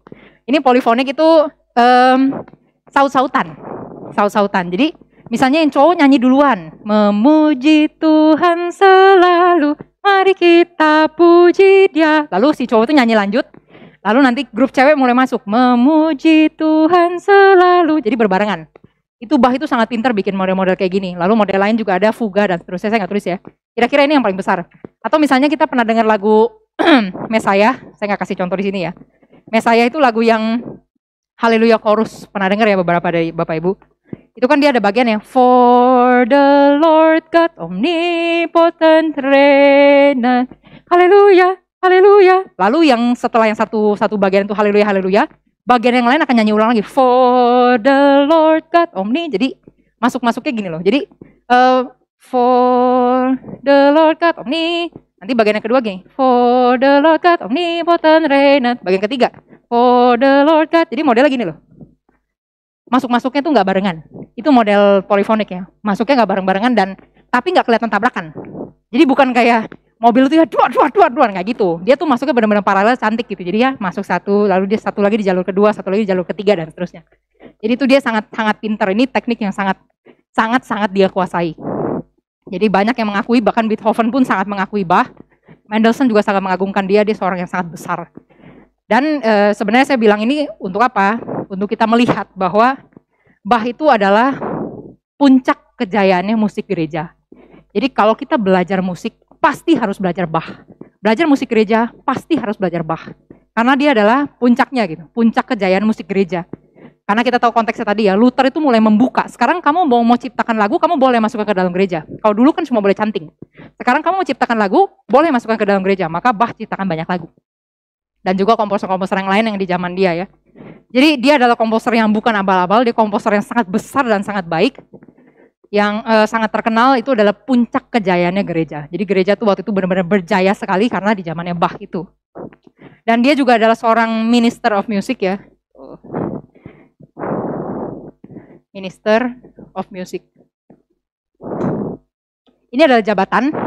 Jadi kalau di dalam gereja tuh kita punya jabatan pendeta kan. Punya jabatan pendeta ya. Jadi pendeta itu siapa? Orang-orang yang mempelajari Alkitab, orang-orang yang uh, menyampaikan firman Tuhan dan dia juga menjaga ajaran gereja, kira-kira begitu. Nah, kalau Minister of Music adalah orang-orang yang memperhatikan musik-musik gereja. Jadi di zaman itu juga mereka sudah mulai pikirkan, gak boleh sembarang musik masuk. Jadi ini ada ininya, ada filternya gitu. Si Minister of Music ini adalah orang yang sangat penting. Dia bahkan di zaman itu ya disejajarkan dengan pendeta. Jadi ini jabatan yang sangat penting. Jadi dia bisa dibilang hamba Tuhan juga. Yang satu hamba Tuhan khusus berbicara tentang firman, tentang teologi. Yang satu lagi khusus memperhatikan musik gereja. Zaman itu ada orang, ada Minister of Music. Um, dia seorang yang melayani yang sangat baik. Jadi dia Minister of Music yang sangat-sangat baik waktu itu di gereja Jerman. Mereka sangat beruntung sekali ada Bach. Dan dia tuh bukan hanya melayani sebagai Minister of Music, tapi dia juga seorang pemain organ yang sangat hebat. Jadi kalau kita cari di internet itu uh, cari aja organ works-nya Bah ya. Organ works. Itu organ works-nya Bah itu banyak yang bagus-bagus. Banyak yang sangat kompleks dan sangat rumit karena memang dia pemain organ, dia tahu seluk-beluknya organ semua. Dia bisa mainkan itu dengan sangat indah. Maka dia tuliskan banyak lagu. Ini tentang uh, Bah ya. Jadi di dalam gereja Lutheran musik itu sangat-sangat berkembang, sangat-sangat berkembang. Tetapi kalau kita lihat menurut karakter Calvin, jadi menurut prinsipnya Calvin, coba kita lihat ke slide ya. Calvin itu dia juga ada gereja yang akhirnya disebut dengan gereja Calvinis. Nah Calvin itu agak berbeda dengan Luther. Jadi kalau Luther itu kan dia sangat mengagungkan musik ya, musik itu sangat dekat dengan firman Tuhan, makanya orang tuh dikasih eksplorasi, akhirnya bisa jadi sampai puncak kejayaannya musik gereja. Nah tetapi bagi Calvin, Calvin itu nggak nggak nggak terlalu sependapat dengan Luther gitu. Karena dia tuh orang yang sangat sederhana, dia sangat menekankan simplicity di dalam ibadah. Jadi kesederhanaan di dalam ibadah. Dia bahkan tidak suka ada yang namanya patung-patung di gereja. Jadi kalau gerejanya Calvin tuh sudah pasti nggak ada patung, nggak ada lukisan gitu, nggak ada. Karena bagi dia gereja adalah tempat kita beribadah kepada Tuhan dan ibadah itu harus punya kesan kesederhanaan. Makanya nggak boleh ada macam-macam gitu di dalam di dalam ibadahnya Calvin, nggak boleh ada ornamen-ornamen gitu. Termasuk juga nggak boleh ada ini alat musik di dalam gerejanya dia. Bagi dia, musik yang tertinggi yang Tuhan kasih itu adalah suara manusia. Memang benar gitu. Ini ini kita ini kita percaya gitu. Musik yang paling tinggi adalah pita suara manusia. Itu yang Tuhan kasih sama manusia. Kalau kita lihat piano itu semua meniru pita suara manusia. Jadi kalau kita lihat piano ya, kalau kita lihat ada gambar eh, kita pernah lihat stringnya, kalau dipencet itu kan dia bergetar. Atau misalnya gitar, kalau kita pencet ting lalu dia getar kan stringnya ya uh, senarnya tuh uh, gitu. Itu meniru pita suara kita. Kalau kita ngomong itu pita suara kita getar. Kalau kita pegang ini ya, saya bicara ini pasti getar semua. Tes, tes, tes, tes. Bapak Ibu boleh tes kok. Gak usah malu-malu. Gak kedengeran ke ini. tes, tes gitu ya. Itu pasti bergetar gitu. Karena itu memang pita suara manusia. Itu adalah satu hal yang yang musik yang tertinggi yang Tuhan berikan kepada kita. Gak ada yang kita tuh bisa niru banyak suara ya. Misalnya suara flute kita bisa tiru dengan bersiul misalnya. Lalu suara uh, biola misalnya kita bisa tiru-tiru sedikit lah. Memang nggak semua bisa, cuman kita itu punya kemampuan yang lebih lebih lebih hebat daripada musik-musik yang diciptakan oleh manusia. Dan Calvin sangat menekankan ini gitu. Jadi ibadah kepada Tuhan berarti harus berikan yang terbaik bagi Tuhan. Berarti berikanlah suaramu gitu. Itu adalah pemberian terbesar yang Tuhan berikan bagi manusia. Jadi berikanlah suaramu untuk memuji Tuhan. Nah, dia sangat menekankan kesederhanaan, lalu tanpa iringan musik. Jadi lagu-lagunya e, di gereja Calvinis itu nggak ada iringan musik, mereka nyanyi akapela. Nyanyi nggak ada nggak ada piano, nggak ada biola, nggak ada apa, mereka nyanyi akapela. Lalu dilakukan dengan kerendahan hati. Nah, ini hal yang sangat penting yang kita harus ingat terus di dalam uh, pemikiran Calvinis yang boleh kita ambil sampai sekarang gitu. Uh, ibadah-ibadahnya Calvin itu ibadah-ibadah yang menurut pemikiran Calvin ya, ibadah itu harus dijalankan dengan kerendahan hati. Jadi bukan dengan kesombongan. Di dalam menyanyi pun seperti itu. Bukan karena saya sekolah musik, saya nyanyi paling kenceng di gereja. Jadi orang lain tuh minder, malu nggak mau nyanyi lagi. Enggak, bukan seperti itu.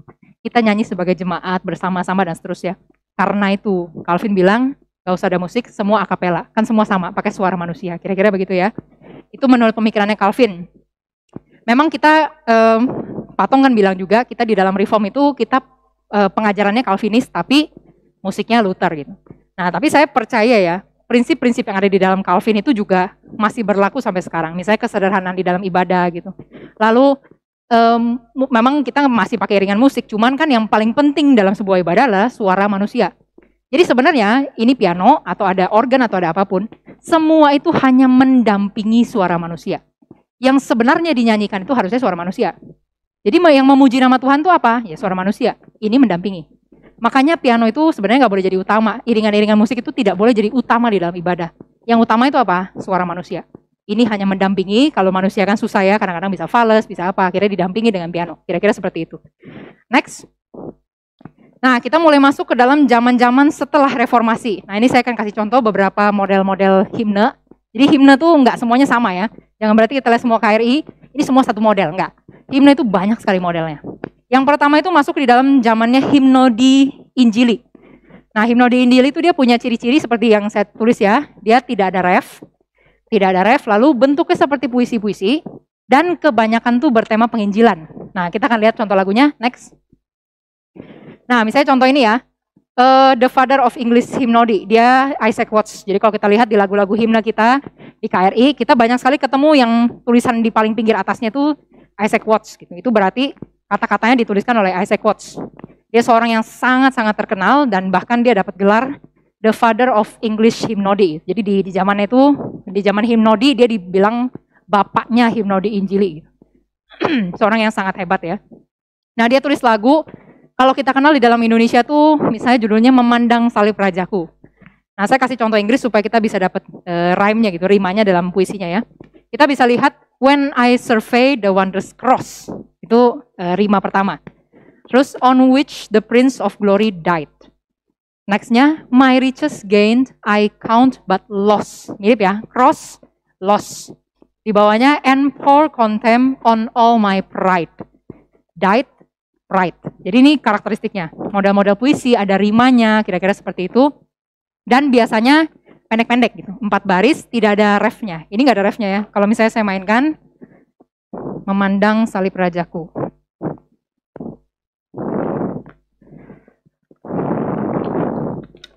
Uh, nomor berapa dia?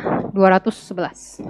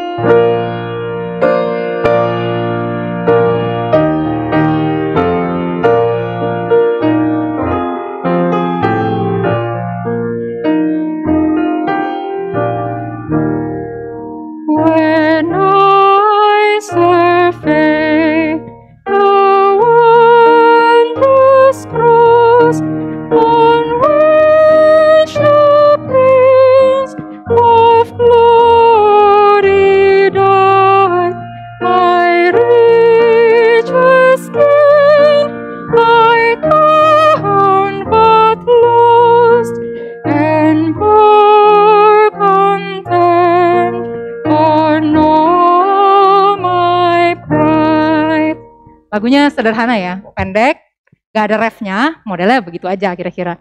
Nah itu ciri-ciri di dalam himno di Injili. Next. Nah ini contoh yang kedua, John Wesley dan Charles Wesley. Dia uh, seorang yang sangat-sangat terkenal. Jadi kalau kita lihat dalam buku-buku him, itu banyak sekali karya-karyanya Charles Wesley dan John Wesley. Uh, saya percaya kita sering-sering lihat ya. Nah dua orang ini adalah dua orang penginjil yang sangat besar. Jadi John Wesley itu dia sering keliling dia sering khotbah di banyak tempat dan uh, dia mengabarkan ya berita keselamatan, berita Injil Tuhan. Nah, dia tulis satu lagu yang sangat terkenal itu Christ the Lord is risen today. Ini Kristus Yesus bangkitlah, tahu ya? Kristus Yesus bangkitlah. Ini lagunya. Nah, kita akan lihat ini uh, semua rimanya sama modelnya. Christ the Lord is risen today modelnya ya. Terus earth and heaven in chorus say. Ri- Rise your joys and triumphs high. Sing ye heavens and earth reply. Modelnya gitu ya. I, I, A, A gitu. Itu model-model eh, himno di Injili pakai puisi-puisi dan biasanya itu cuma empat baris, pendek-pendek lagunya. Ini nggak ada refnya lagunya. Next. Eh, contoh berikutnya Agustus Top Lady. Nah dia seorang yang sebenarnya dia eh, orang yang ikut pelayanan bareng dengan George Whitfield. George Whitfield itu seorang penginjil besar. Dia sering bikin KKR-KKR besar, akhirnya ya mempertobatkan banyak orang. Nah, George Whitfield sendiri dia nggak tulis lagu. Dia nggak tulis lagu, tapi dia kerjasama dengan seorang penulis lagu namanya Agustus Toplady. Nah, dia tulis lagu Rock of Ages Cleft for Me. Ini lagunya Padamu batu zaman. Tahu ya? Aku minta lindungan. Nah, kita lihat kata-katanya Rock of Ages Cleft for Me. I gitu. Let me hide myself in thee. I juga. Let the water and the blood from the wound from thy wounded side which flowed. D, D gitu ya. Lalu be of sin the double cure, save from wrath and make me pure. Ya ini eh, model-model puisi dan ini tidak ada referennya. Jadi kalau Bapak Ibu lihat itu nggak ada tulisan ref, bahkan kata-katanya semua padat-padat gitu ya, rapet-rapet dan banyak. Next. Nah ini William Williams, dia tulis lagu Guide Me, O Thou Great Jehovah. Dia tulis Tuntun aku Tuhan Allah. Lagu itu ya. Sama juga eh, Guide Me, Oh My, Oh Thy Great Jehovah. Thou Great Jehovah. Sorry saya tulisnya My Great ya, sorry. Pilgrim through this barren land. I am weak but you are mighty. Hold me with your power hand. Land, hand. Bread of heaven, feed me till I want no more. Feed me till I want no more. Jadi more, more. Itu uh, buitisnya. Next. John Newton. Nah, John Newton juga dia di zaman English Hymnody ya. Zaman Hymnody Injili. Eh, kita tahu ceritanya, dia seorang yang penjual budak. Jadi dia waktu itu kan di zaman perbudakan, dia jual budak-budak kulit hitam. Lalu dia sempat bertobat, sempat bertobat, tapi dia masih jualan. Jadi dia masih jualan budak. Cuma dia udah mulai ngadain KKR-KKR di ya di kapalnya sendiri. Jadi dia bikin ibadah untuk awak-awak kapalnya. Cuma satu waktu dia kena badai dan dia hampir mati di situ. Baru dia akhirnya menyerahkan diri jadi hamba Tuhan. Lalu dia tulis satu lagu ini yang eh, sangat sangat kita kenal ya.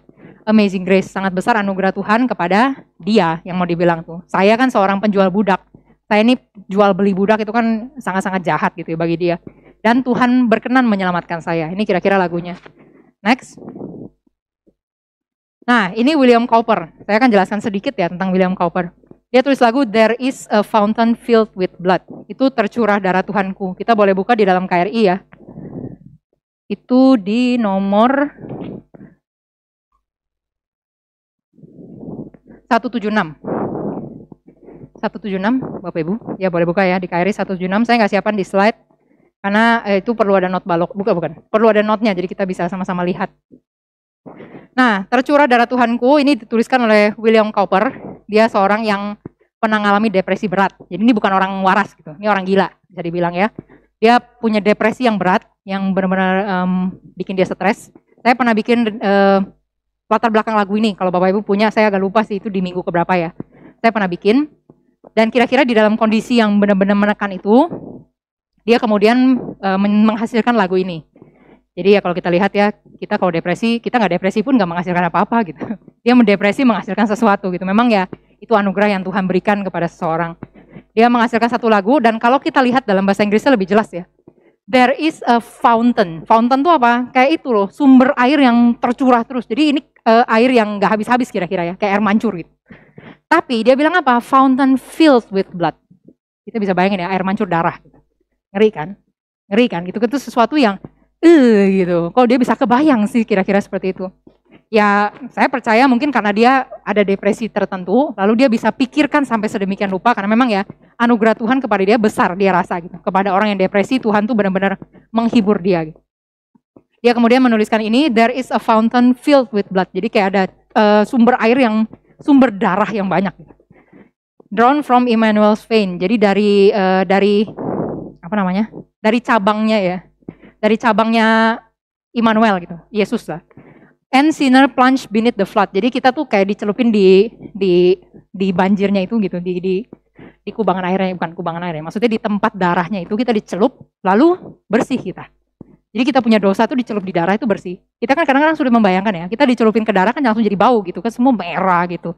Tapi bagi dia itu dicelup ke darah tuh bersih. Nah dia ambil ini dari mana? Dari Zakaria 13 ayat 1. Saya mengajak kita membuka dari Zakaria 13 ayat yang pertama. Zakaria 13 ayat yang pertama itu kitab kedua terakhir sebelum Maleaki. Kitab Zakaria pasal yang ke-13 ayat yang pertama. Saya akan bacakan ya. Pada waktu itu akan terbuka suatu sumber bagi keluarga Daud dan bagi penduduk Yerusalem untuk membasuh dosa dan kecemaran. Jadi diambil dari sini ya. Ini kan bicara soal orang Israel yang sudah berdosa tapi Tuhan janjikan nanti untuk keturunan Daud dan orang-orang percaya itu Tuhan akan janjikan keselamatan. Nah, biasanya kita tuh mengerti sumber pembasuhan itu berarti berkaitan dengan yang namanya air. Jadi kalau bicara soal pembasuhan, bicara soal mandi gitu, itu kan pasti kita langsung terpikir dengan air, pasti ya. Entah mau pakai sabun atau nggak pakai sabun itu kan alasan kedua gitu. Cuman pasti air ada. Nah kita juga akan lihat di dalam perjanjian lama itu memang air itu punya konsep yang sangat penting. Ini konsepnya sangat besar gitu di dalam perjanjian lama. Kalau kita lihat orang-orang yang misalnya wanita-wanita setelah haid, setelah dia datang bulan itu kan e, tercatat ya, mereka tuh punya hari-hari najis gitu. Jadi nggak boleh datang ke bait Allah, nggak boleh beribadah karena mereka itu ada haid gitu. Jadi ada datang bulan. Nah, mereka kalau sudah selesai haid itu mereka nggak boleh langsung datang ke bait Allah, tapi perlu dibasuh. Nah, basuhnya dengan air nanti ada peraturannya lah ya sebelum matahari terbenam dan seterusnya harus dibasuh dengan air. Jadi air itu punya prinsip apa ya pembasuhan diri orang yang dibersihkan. Atau misalnya contoh yang lain kusta. Jadi orang yang kusta itu kan nanti harus datang ke iman, ke imam. Jadi imam nanti lihat ya dinyatakan sembuh misalnya ya dengan dengan syarat-syarat yang sudah tercatat ya udah nggak ada lagi bintik-bintik dan seterusnya. Dia dinyatakan sembuh, tapi dia nggak boleh langsung masuk ke dalam bait suci. Jadi dia harus mandi dulu gitu. Jadi harus pembasuhan dulu, pasti ada ritualnya ya. Harus pembasuhan dulu, baru dia boleh masuk ke dalam bait suci. Baru dia boleh masuk lagi di dalam komunitas umat Allah. Itu jadi air itu punya prinsip yang sangat penting di dalam perjanjian lama. Itu adalah pembasuhan. Jadi manusia yang najis, manusia yang berdosa itu harus dibasuh dulu dengan air. Kalau enggak manusia nggak bisa datang kepada Tuhan. Itu prinsipnya. Tetapi di dalam perjanjian baru, kita lihat manusia itu tidak lagi dibasuh dengan air. Kenapa? Karena dibasuh dengan air itu harus berulang-ulang. Jadi seperti tadi ya wanita yang haid gitu. Setiap bulan kan pasti haid. Jadi dia setiap bulan tanda petik harus dibasuh. Minimal gitu kan kalau perempuan. Karena nanti dia bulan ini haid lalu dia harus basuh diri boleh boleh ke bait suci. Nanti bulan depan dia haid lagi, dia nggak boleh masuk lagi dalam perkumpulan umat Tuhan. Dia harus mendekam di rumah. Setelah selesai harus dibasuh lagi dengan air. Jadi pembasuhan dengan air itu belum sempurna, harus berulang kali. Tetapi di dalam perjanjian baru, kita bukan lagi dibasuh dengan air, tetapi kita dibasuh dengan darah Kristus. Kita dibasuh dengan darah. Jadi air itu digenapkan kemudian dengan darah. Nah, pembasuhan Yesus itu jauh lebih lebih apa ya, lebih efektif daripada air. Kenapa? Karena Yesus itu pembasuhannya hanya satu kali seumur hidup. Jadi satu kali selama-lamanya pembasuhan Yesus itu berlaku, kekal. Satu kali selama-lamanya kita bersih dari dosa. Itu kan penggambarannya, kita najis karena kita berdosa, lalu dibasuh dengan darah dan kita menjadi bersih. Itu seperti kata-kata dalam lagu tadi ya. Saya dicelup ke dalam banjir itu, ke dalam e, tempat darah itu, lalu saya jadi bersih. My guilty stains. Itu stains itu bukan sesuatu yang ini ya. Kayak kalau di e, panci gitu ya. Itu kan ada kotor, itu bukan kotor kena saus misalnya. Karena kalau misalnya kena saus kita cuci langsung hilang kan. Tapi kalau stains itu itu sesuatu yang nempel. Saya e, kita pasti pernah lah ya misalnya di dalam e, rumah tangga kita tuh misalnya ada panci, gitu. lalu panci itu ada bopeng-bopeng hitam gitu. Nah kita nggak bisa bersihin ya kan. Lalu kan biasa di internet ada banyak ceritanya pakai baking soda, pakai garam, pakai apa? Untuk bersihin apa? Untuk bersihin si stainnya itu yang nggak bisa hilang, yang harus dikerok, harus di dikeruk, dikerok dan seterusnya pakai pisau atau pakai apa gitu. Nah dosa kita tuh seperti itu nggak bisa hilang gitu. Pakai air tuh nggak bisa bersih. Jadi ya kalau ibarat pakai itu mesti pakai uh, gergaji pakai pisau misalnya dikeruk gitu ya. Nah seperti itulah kita. Kita harus dibasuh dengan darah Kristus, baru stain itu hilang. Baru kita punya dosa itu bersih, harus dibasuh dengan darah Kristus. Nah ini ditulis oleh seorang yang depresi. Seorang yang depresi. Uh, dengan pengertian ini saya mau ajak kita baca dari kata-katanya ya. Yang pertama itu tercurah darah Tuhanku, tadi di nomor 176. Tercurah darahku di bukit, tercurah darah Tuhanku di bukit Golgota. Yang mau bertobat ditebus, terhapus dosanya. Terhapus dosanya, terhapus dosanya. Yang mau bertobat ditebus, terhapus dosanya. Nah, saya mau ngajak kita dengan pengertian ini, mari kita nyanyikan lagu ini bait yang pertama ya, tercurah darah Tuhanku. Tercurah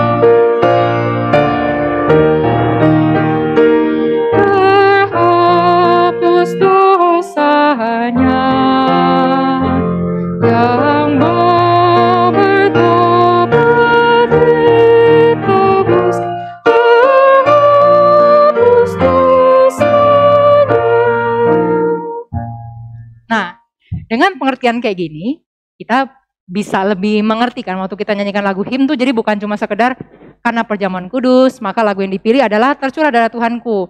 Lalu saya nyanyikan ini sambil itu cawan dibagikan. Jadi saya nyanyi buat apa? Ya supaya nunggu cawan itu dibagikan. Itu bukan seperti itu. Setiap lagu him itu punya ceritanya masing-masing. Ini cerita yang pertama yang saya angkat tadi ya. William Cowper seorang yang depresi tapi kemudian dipakai Tuhan. Lagunya itu jadi penghiburan bagi banyak orang. Next. Kita masuk ke zaman eh, black spirituals. Jadi kalau kita lihat black gitu, itu berarti orang kulit hitam. Jadi di zaman ini lagu-lagunya itu biasanya model-modelnya mirip-mirip seperti ini ya. Go tell it on the mountain. Jadi di gunung gitu. Kenapa? Karena mereka kan dulu kerja di ladang, kerja di gunung, di alam gitu. Jadi biasanya ceritanya tuh banyak yang pakai prinsip-prinsip seperti ini. Go tell it on the mountain. Pergi kabarkan di gunung. Kenapa ya? Karena mereka konteksnya begitu ya. Over the hills and everywhere. Di bukit-bukit yang banyak dan segala tempat. Go tell it on the mountain. Kabarkan apa? That Jesus Christ is born. Karena Yesus sudah lahir. Terus eh, baru di bawahnya ini mulai masuk ke baitnya. Jadi depannya tuh ref dulu ya. Ke baitnya, waktu gembala-gembala itu sedang menjaga dombanya di eh, waktu di tengah-tengah malam. eh, domba-domba itu cuma ada suara-suara domba lah kira-kira ya. Suara, malam yang sunyi. Lalu datanglah sekumpulan malaikat. Jadi sekumpulan malaikat yang besar itu datang dengan menyanyikan puji-pujian dan muncullah terang yang bercahaya, holy light dia bilang ya, terang yang kudus. Karena ya bayangkanlah itu malam-malam, dulu kan nggak ada lampu, nggak ada lampu-lampu begini ya. Jadi mereka terang cahaya tuh dari mana? Dari itu api unggun kira-kira. Dan tiba-tiba mereka tuh lihat terang yang besar, mungkin seperti siang jadinya. Jadi suatu terang yang besar menerangi mereka, mungkin terasa seperti siang hari. Nah itu digambarkan di dalam lagu ini.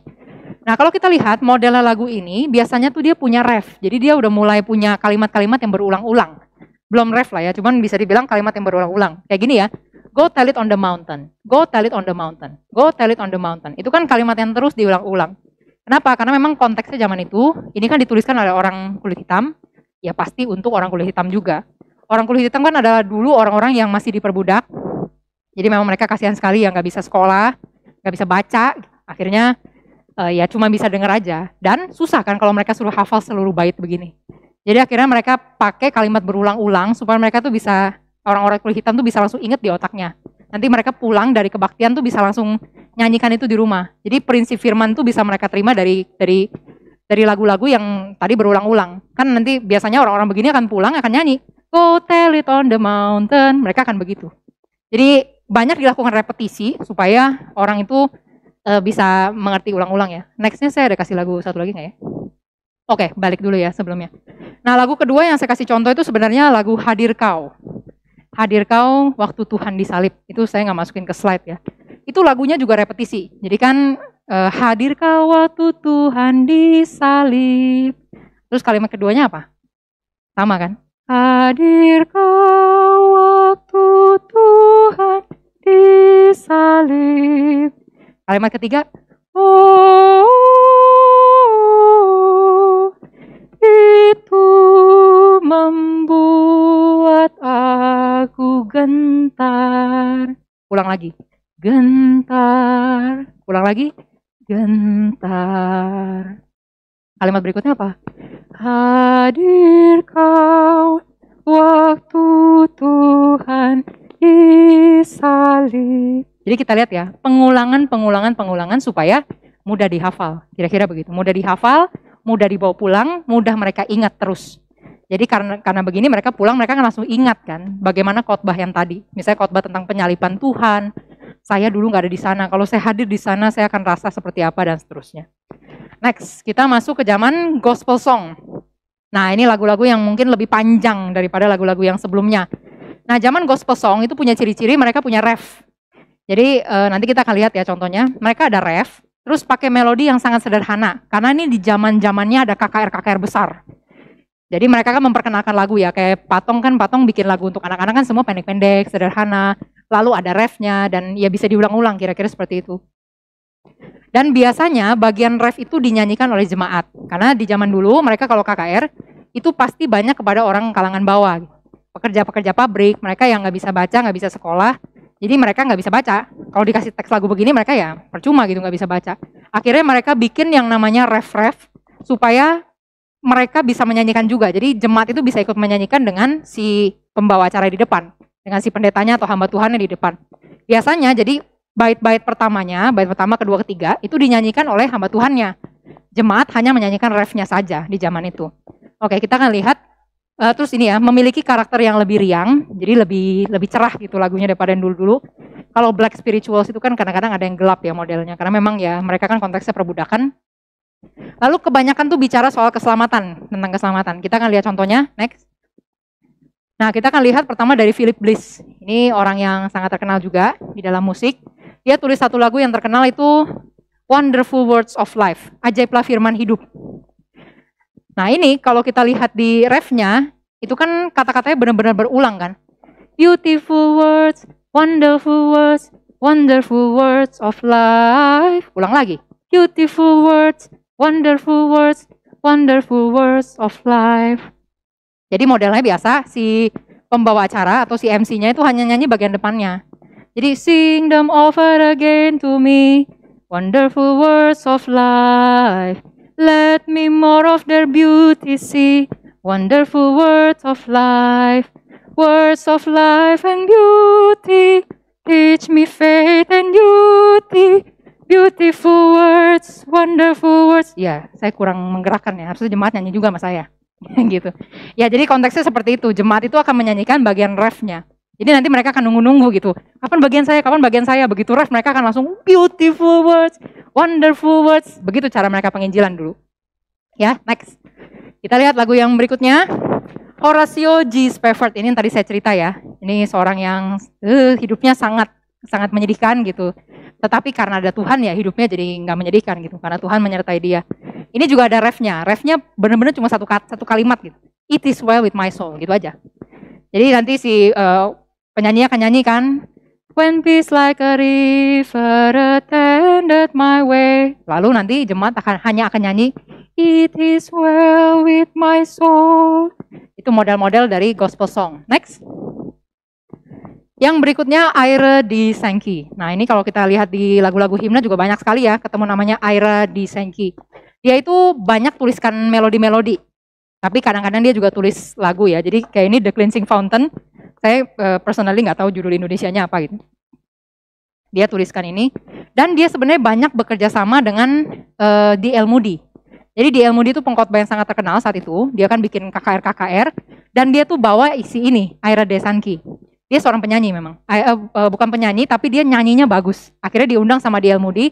Ayo ikut saya penginjilan, kamu nanti akan nyanyi di setiap KKR saya. Kira-kira begitu.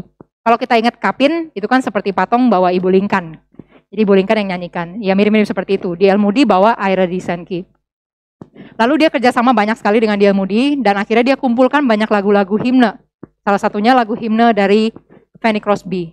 Fanny Crosby itu disebut sebagai the queen of gospel hymn. Jadi dia seorang yang sangat besar di dalam zamannya ini. Dia banyak sekali tulis lagu-lagu. Ini saya kasih contoh hanya sedikit ya. Take the world but give me Jesus, mungkin kita tahu. Terus jaminan mulia, sungguh dan pasti jaminanku. Itu ada refnya. Lalu kelaku lihat wajahnya. Lalu yang ketiga, yang berikutnya selamat di tangan Yesus. Coba next. Nah kita akan lihat satu lagu ini ya, selamat di tangan Yesus. Lagu ini backgroundnya uh, kita lihat backgroundnya Fanny Crosby ya, dia seorang yang terlahir buta, jadi dia eh terlahir tidak buta. Jadi dia seorang yang sehat gitu waktu lahir, bayi yang normal, bayi yang sehat. Tapi kemudian dia kena demam tinggi, lalu datang dokter, dokter itu kasih salep yang akhirnya membuat matanya buta. Jadi ini dia buta tuh bukan karena dia dilahirkan buta, tapi karena malpraktik dokter. Tetapi seorang yang buta ini, dia menuliskan banyak sekali himne, ribuan, bahkan yang bisa nyaingin dia tuh dikatakan cuma Charles Wesley, karena dia tulis banyak juga. Banyak yang bilang uh, Fanny Crosby itu tulis sekitar 8.000 lagu, 9.000, ada yang bilang juga hanya 6.500 dan seterusnya. Intinya dia tulis banyak sekali, ribuan lagu. Itu saya nggak bisa bayangkan, itu dia satu hari bisa tulis berapa banyak lagu kira-kira.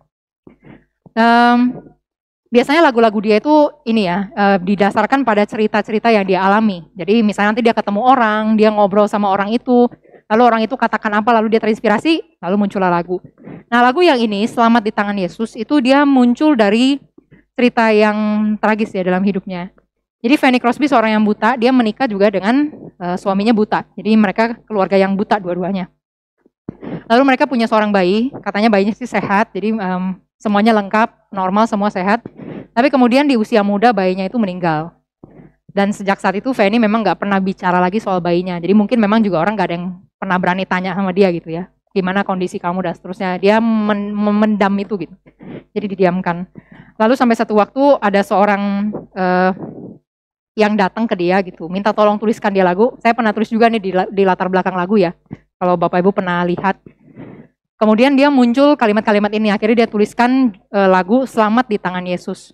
Nah dalam lagu ini kita bisa lihat ya, dia kan punya kenangan akan kematian anaknya.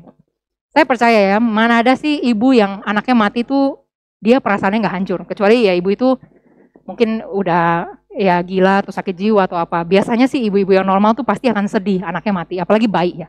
Bayi yang saya baru pegang dia berapa bulan, paling lama satu tahun saya baru pegang dia, sekarang dia harus mati duluan. Banyak ibu tuh pasti akan bilang, udah tukar aja nyawanya sama saya, biar saya mati nggak usah dia. Banyak kan ibu-ibu seperti itu ya. Biar saya mati nggak usah dia. Kita ibu-ibu tuh pasti akan rela melakukan apa pun demi anaknya ini. Tapi ya dengan kematian Fanny Crosby nggak bisa lakukan apa-apa lagi untuk anaknya. Memang anaknya sudah dipanggil Tuhan. Tetapi dalam kondisi yang menekan seperti itu, Fanny tetap percaya kepada Tuhan. Dan itu digambarkan di dalam lagu ini. Dia percaya bahwa anak itu kan tadinya dia lahir ya, itu kan dia ada di dalam rahimnya Fanny. Jadi kan begitu dekat, begitu erat gitu koneksinya dengan ibunya. Kita tahu lah ya, kalau lihat orang di USG gitu. Jadi kan kita tahu ini bayinya tuh sedang apa. Kalau nanti mamanya bicara, anaknya bisa nendang, papanya bicara bisa nendang dan seterusnya. Karena dia punya koneksi, punya relasi dengan mamanya. Dan begitu dilahirkan, bayi itu akan merasa nyaman dan tenang itu di mana? Di dekapan mamanya. Karena dia bisa dengar detak jantung mamanya. Dulu kan satu kan sama bayi itu kan, detak jantungnya deket. Jadi bayi itu akan rasa sangat aman di pelukan mamanya, di dekapan mamanya. Dan sekarang bayinya itu sudah mati. Bayinya itu tidak bisa ada lagi di, di dalam dekapannya Fanny. Tapi Fanny percaya apa? Sekarang anak saya itu sudah ada di, di dalam dekapan Tuhan. Apalagi yang diharapkan dia gitu. Dekapan tangan Tuhan kan pasti lebih aman, pasti lebih nyaman daripada dekapan Fanny sendiri.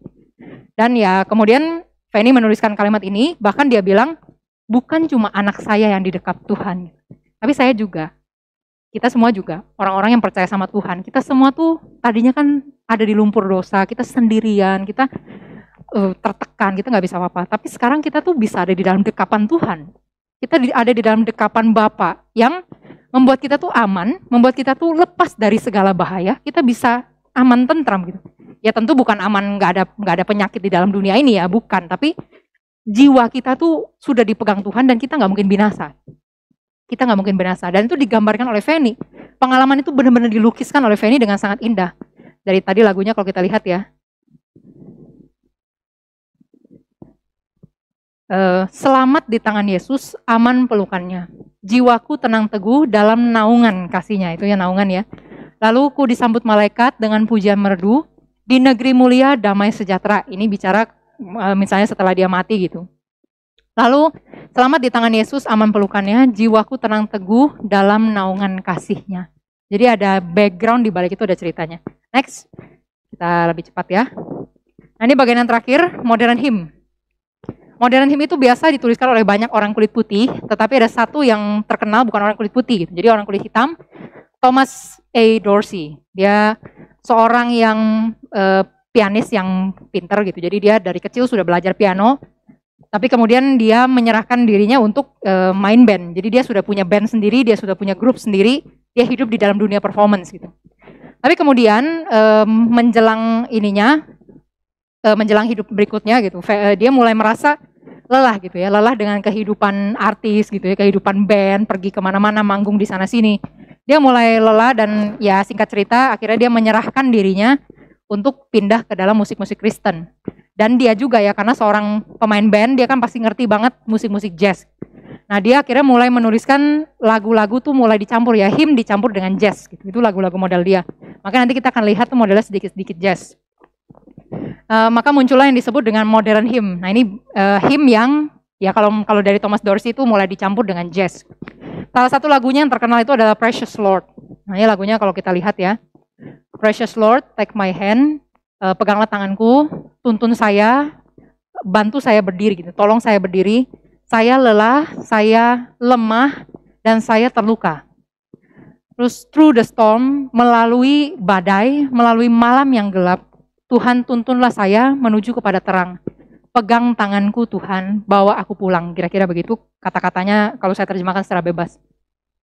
Nah dia punya background, eh, dia menikah dengan satu orang dengan perempuan gitu istrinya dan saat itu ceritanya istrinya tuh lagi hamil hamil tua dan sudah dekat waktu melahirkan jadi istrinya tuh memang sudah harus melahirkan anak tapi Dorsey itu dipanggil sudah ada janji gitu jadi dia janji pergi ke Saint Louis dia melayani di sebuah KKR jadi masih ini ya dia masih pentas di KKR KKR gitu mementaskan lagu-lagu Kristen jadi begitu tahu istrinya sudah dekat melahirkan eh, Dorsey bilang udah saya nggak usah pergi tapi istrinya bilang kamu nggak bisa gitu, kamu sudah janji sama Tuhan, kamu mau pelayanan, nggak apa-apa sudah kamu pergi aja. Ada Tuhan kok jaga saya. Jadi uh, dia akhirnya pergi, dia pergi ke sana, pergi melayani. Lalu malam itu juga di atas panggung setelah dia selesai pentas ada orang yang kasih telegram. Telegram tuh yang kecil gitu ya. Telegram dikasih dan di sana dicatat bahwa istrinya tuh mati setelah melahirkan. Lalu ya di dalam malam yang yang begitu duka itu dia langsung pulang segera untuk lihat istrinya dan dia lihat bayi laki-lakinya tuh lahir sehat. Jadi ini bayi laki-laki terlahir sehat, semua lengkap, semua baik. Tapi ternyata bayinya malam itu juga meninggal. Gitu. Malam itu juga dipanggil Tuhan. Dan e, keesokan harinya atau beberapa hari berikutnya, saya agak lupa ya detailnya. Dorsey itu kemudian menguburkan istri dan anak-anaknya di dalam satu peti yang sama. Jadi kita bisa rasakan ya duka seorang suami yang baru punya anak pertama, mungkin juga pernikahannya belum lama dengan istrinya itu. Lalu beberapa hari kemudian dia menjumpai seorang temannya namanya Profesor Vire, tulisannya gini. Kelihatan ya? Profesor Fear, dia ketemu sama ini lalu diajak keliling kampus karena dia profesor, dia uh, ada di satu kampus, dia keliling-keliling kampus lalu lihat ada ruang musik. Nah di situ Dorsey masuk, dia duduk di atas piano itu dan dia mulai mainkan satu lagu. Itu di dalam KRI ada, judulnya Haruskah Yesus tanggung beban itu. Coba kita lihat ya. Dia mainkan lagu itu. Haruskah ia pikul salib 268? Haruskah ia pikul salib?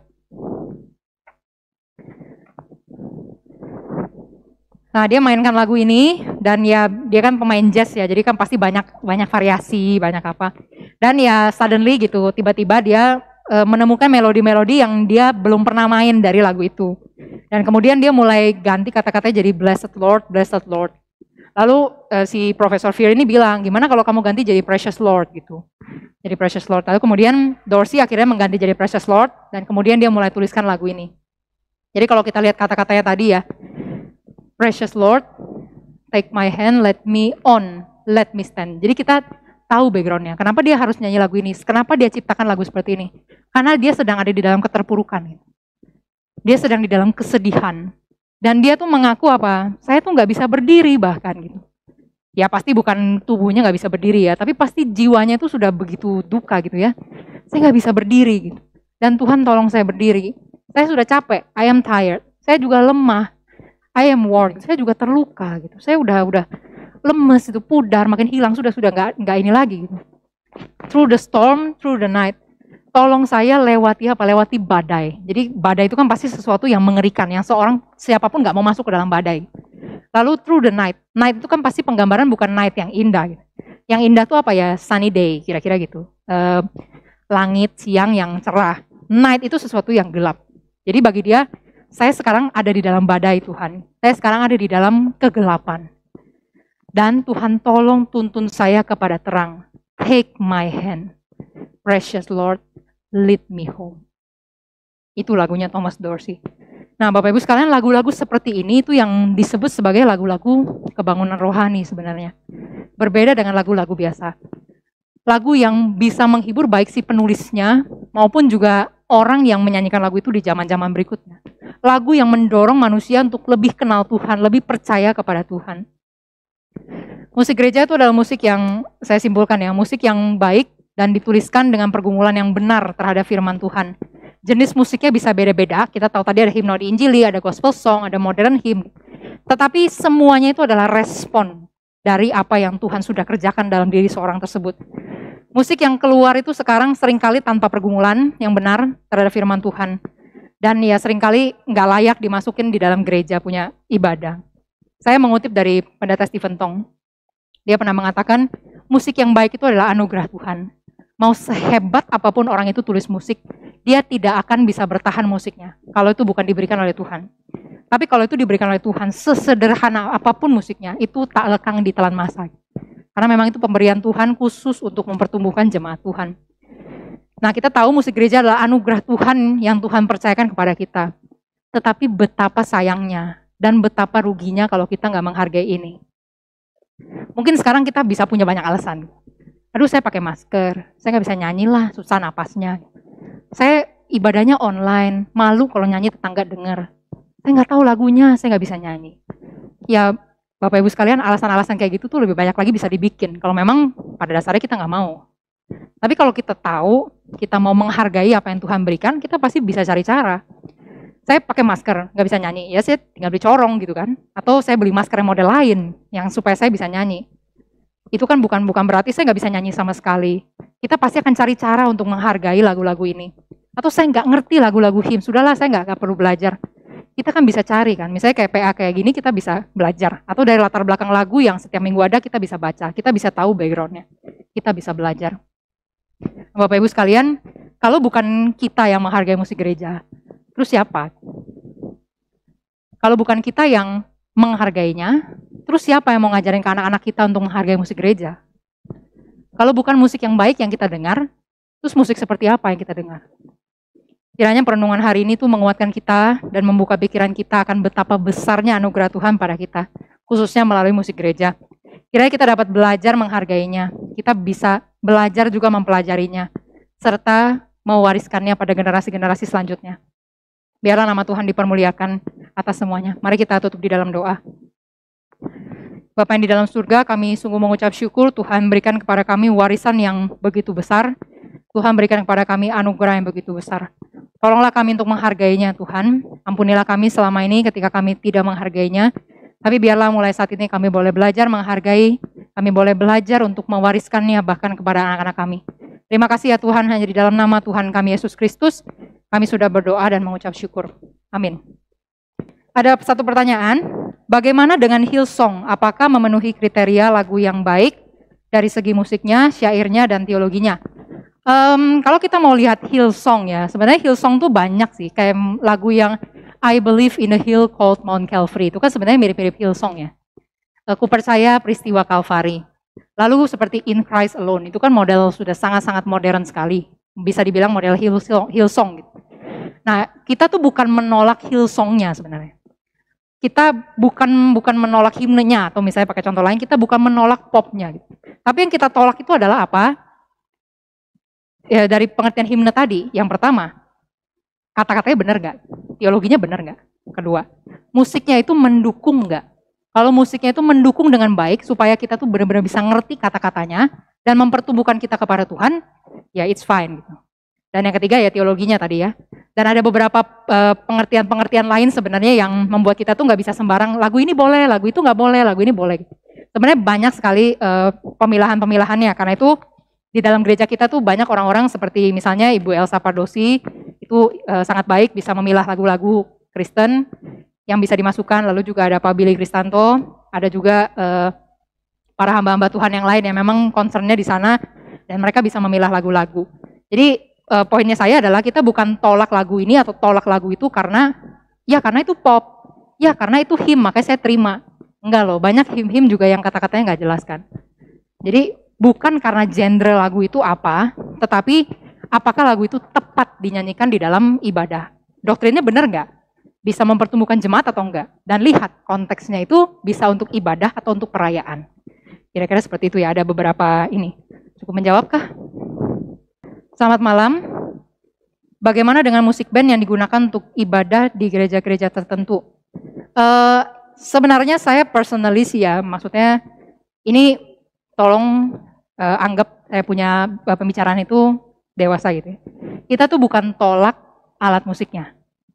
Jadi kita bukan karena ini piano boleh, karena itu biola boleh. Oh kalau drum nggak boleh. Jadi itu ya penekanannya itu bukan kepada alat musiknya itu apa. Jadi nggak bisa sesederhana itu. Tetapi prinsip dibaliknya itu apa? Kalau piano itu prinsipnya apa? Memang itu kan uh, development yang paling tinggi dari alat-alat musik yang lain. Seperti tadi saya bilang ya harpsichord itu nenek moyangnya piano. Cuman kemudian di develop, dikembangkan lagi akhirnya jadi piano.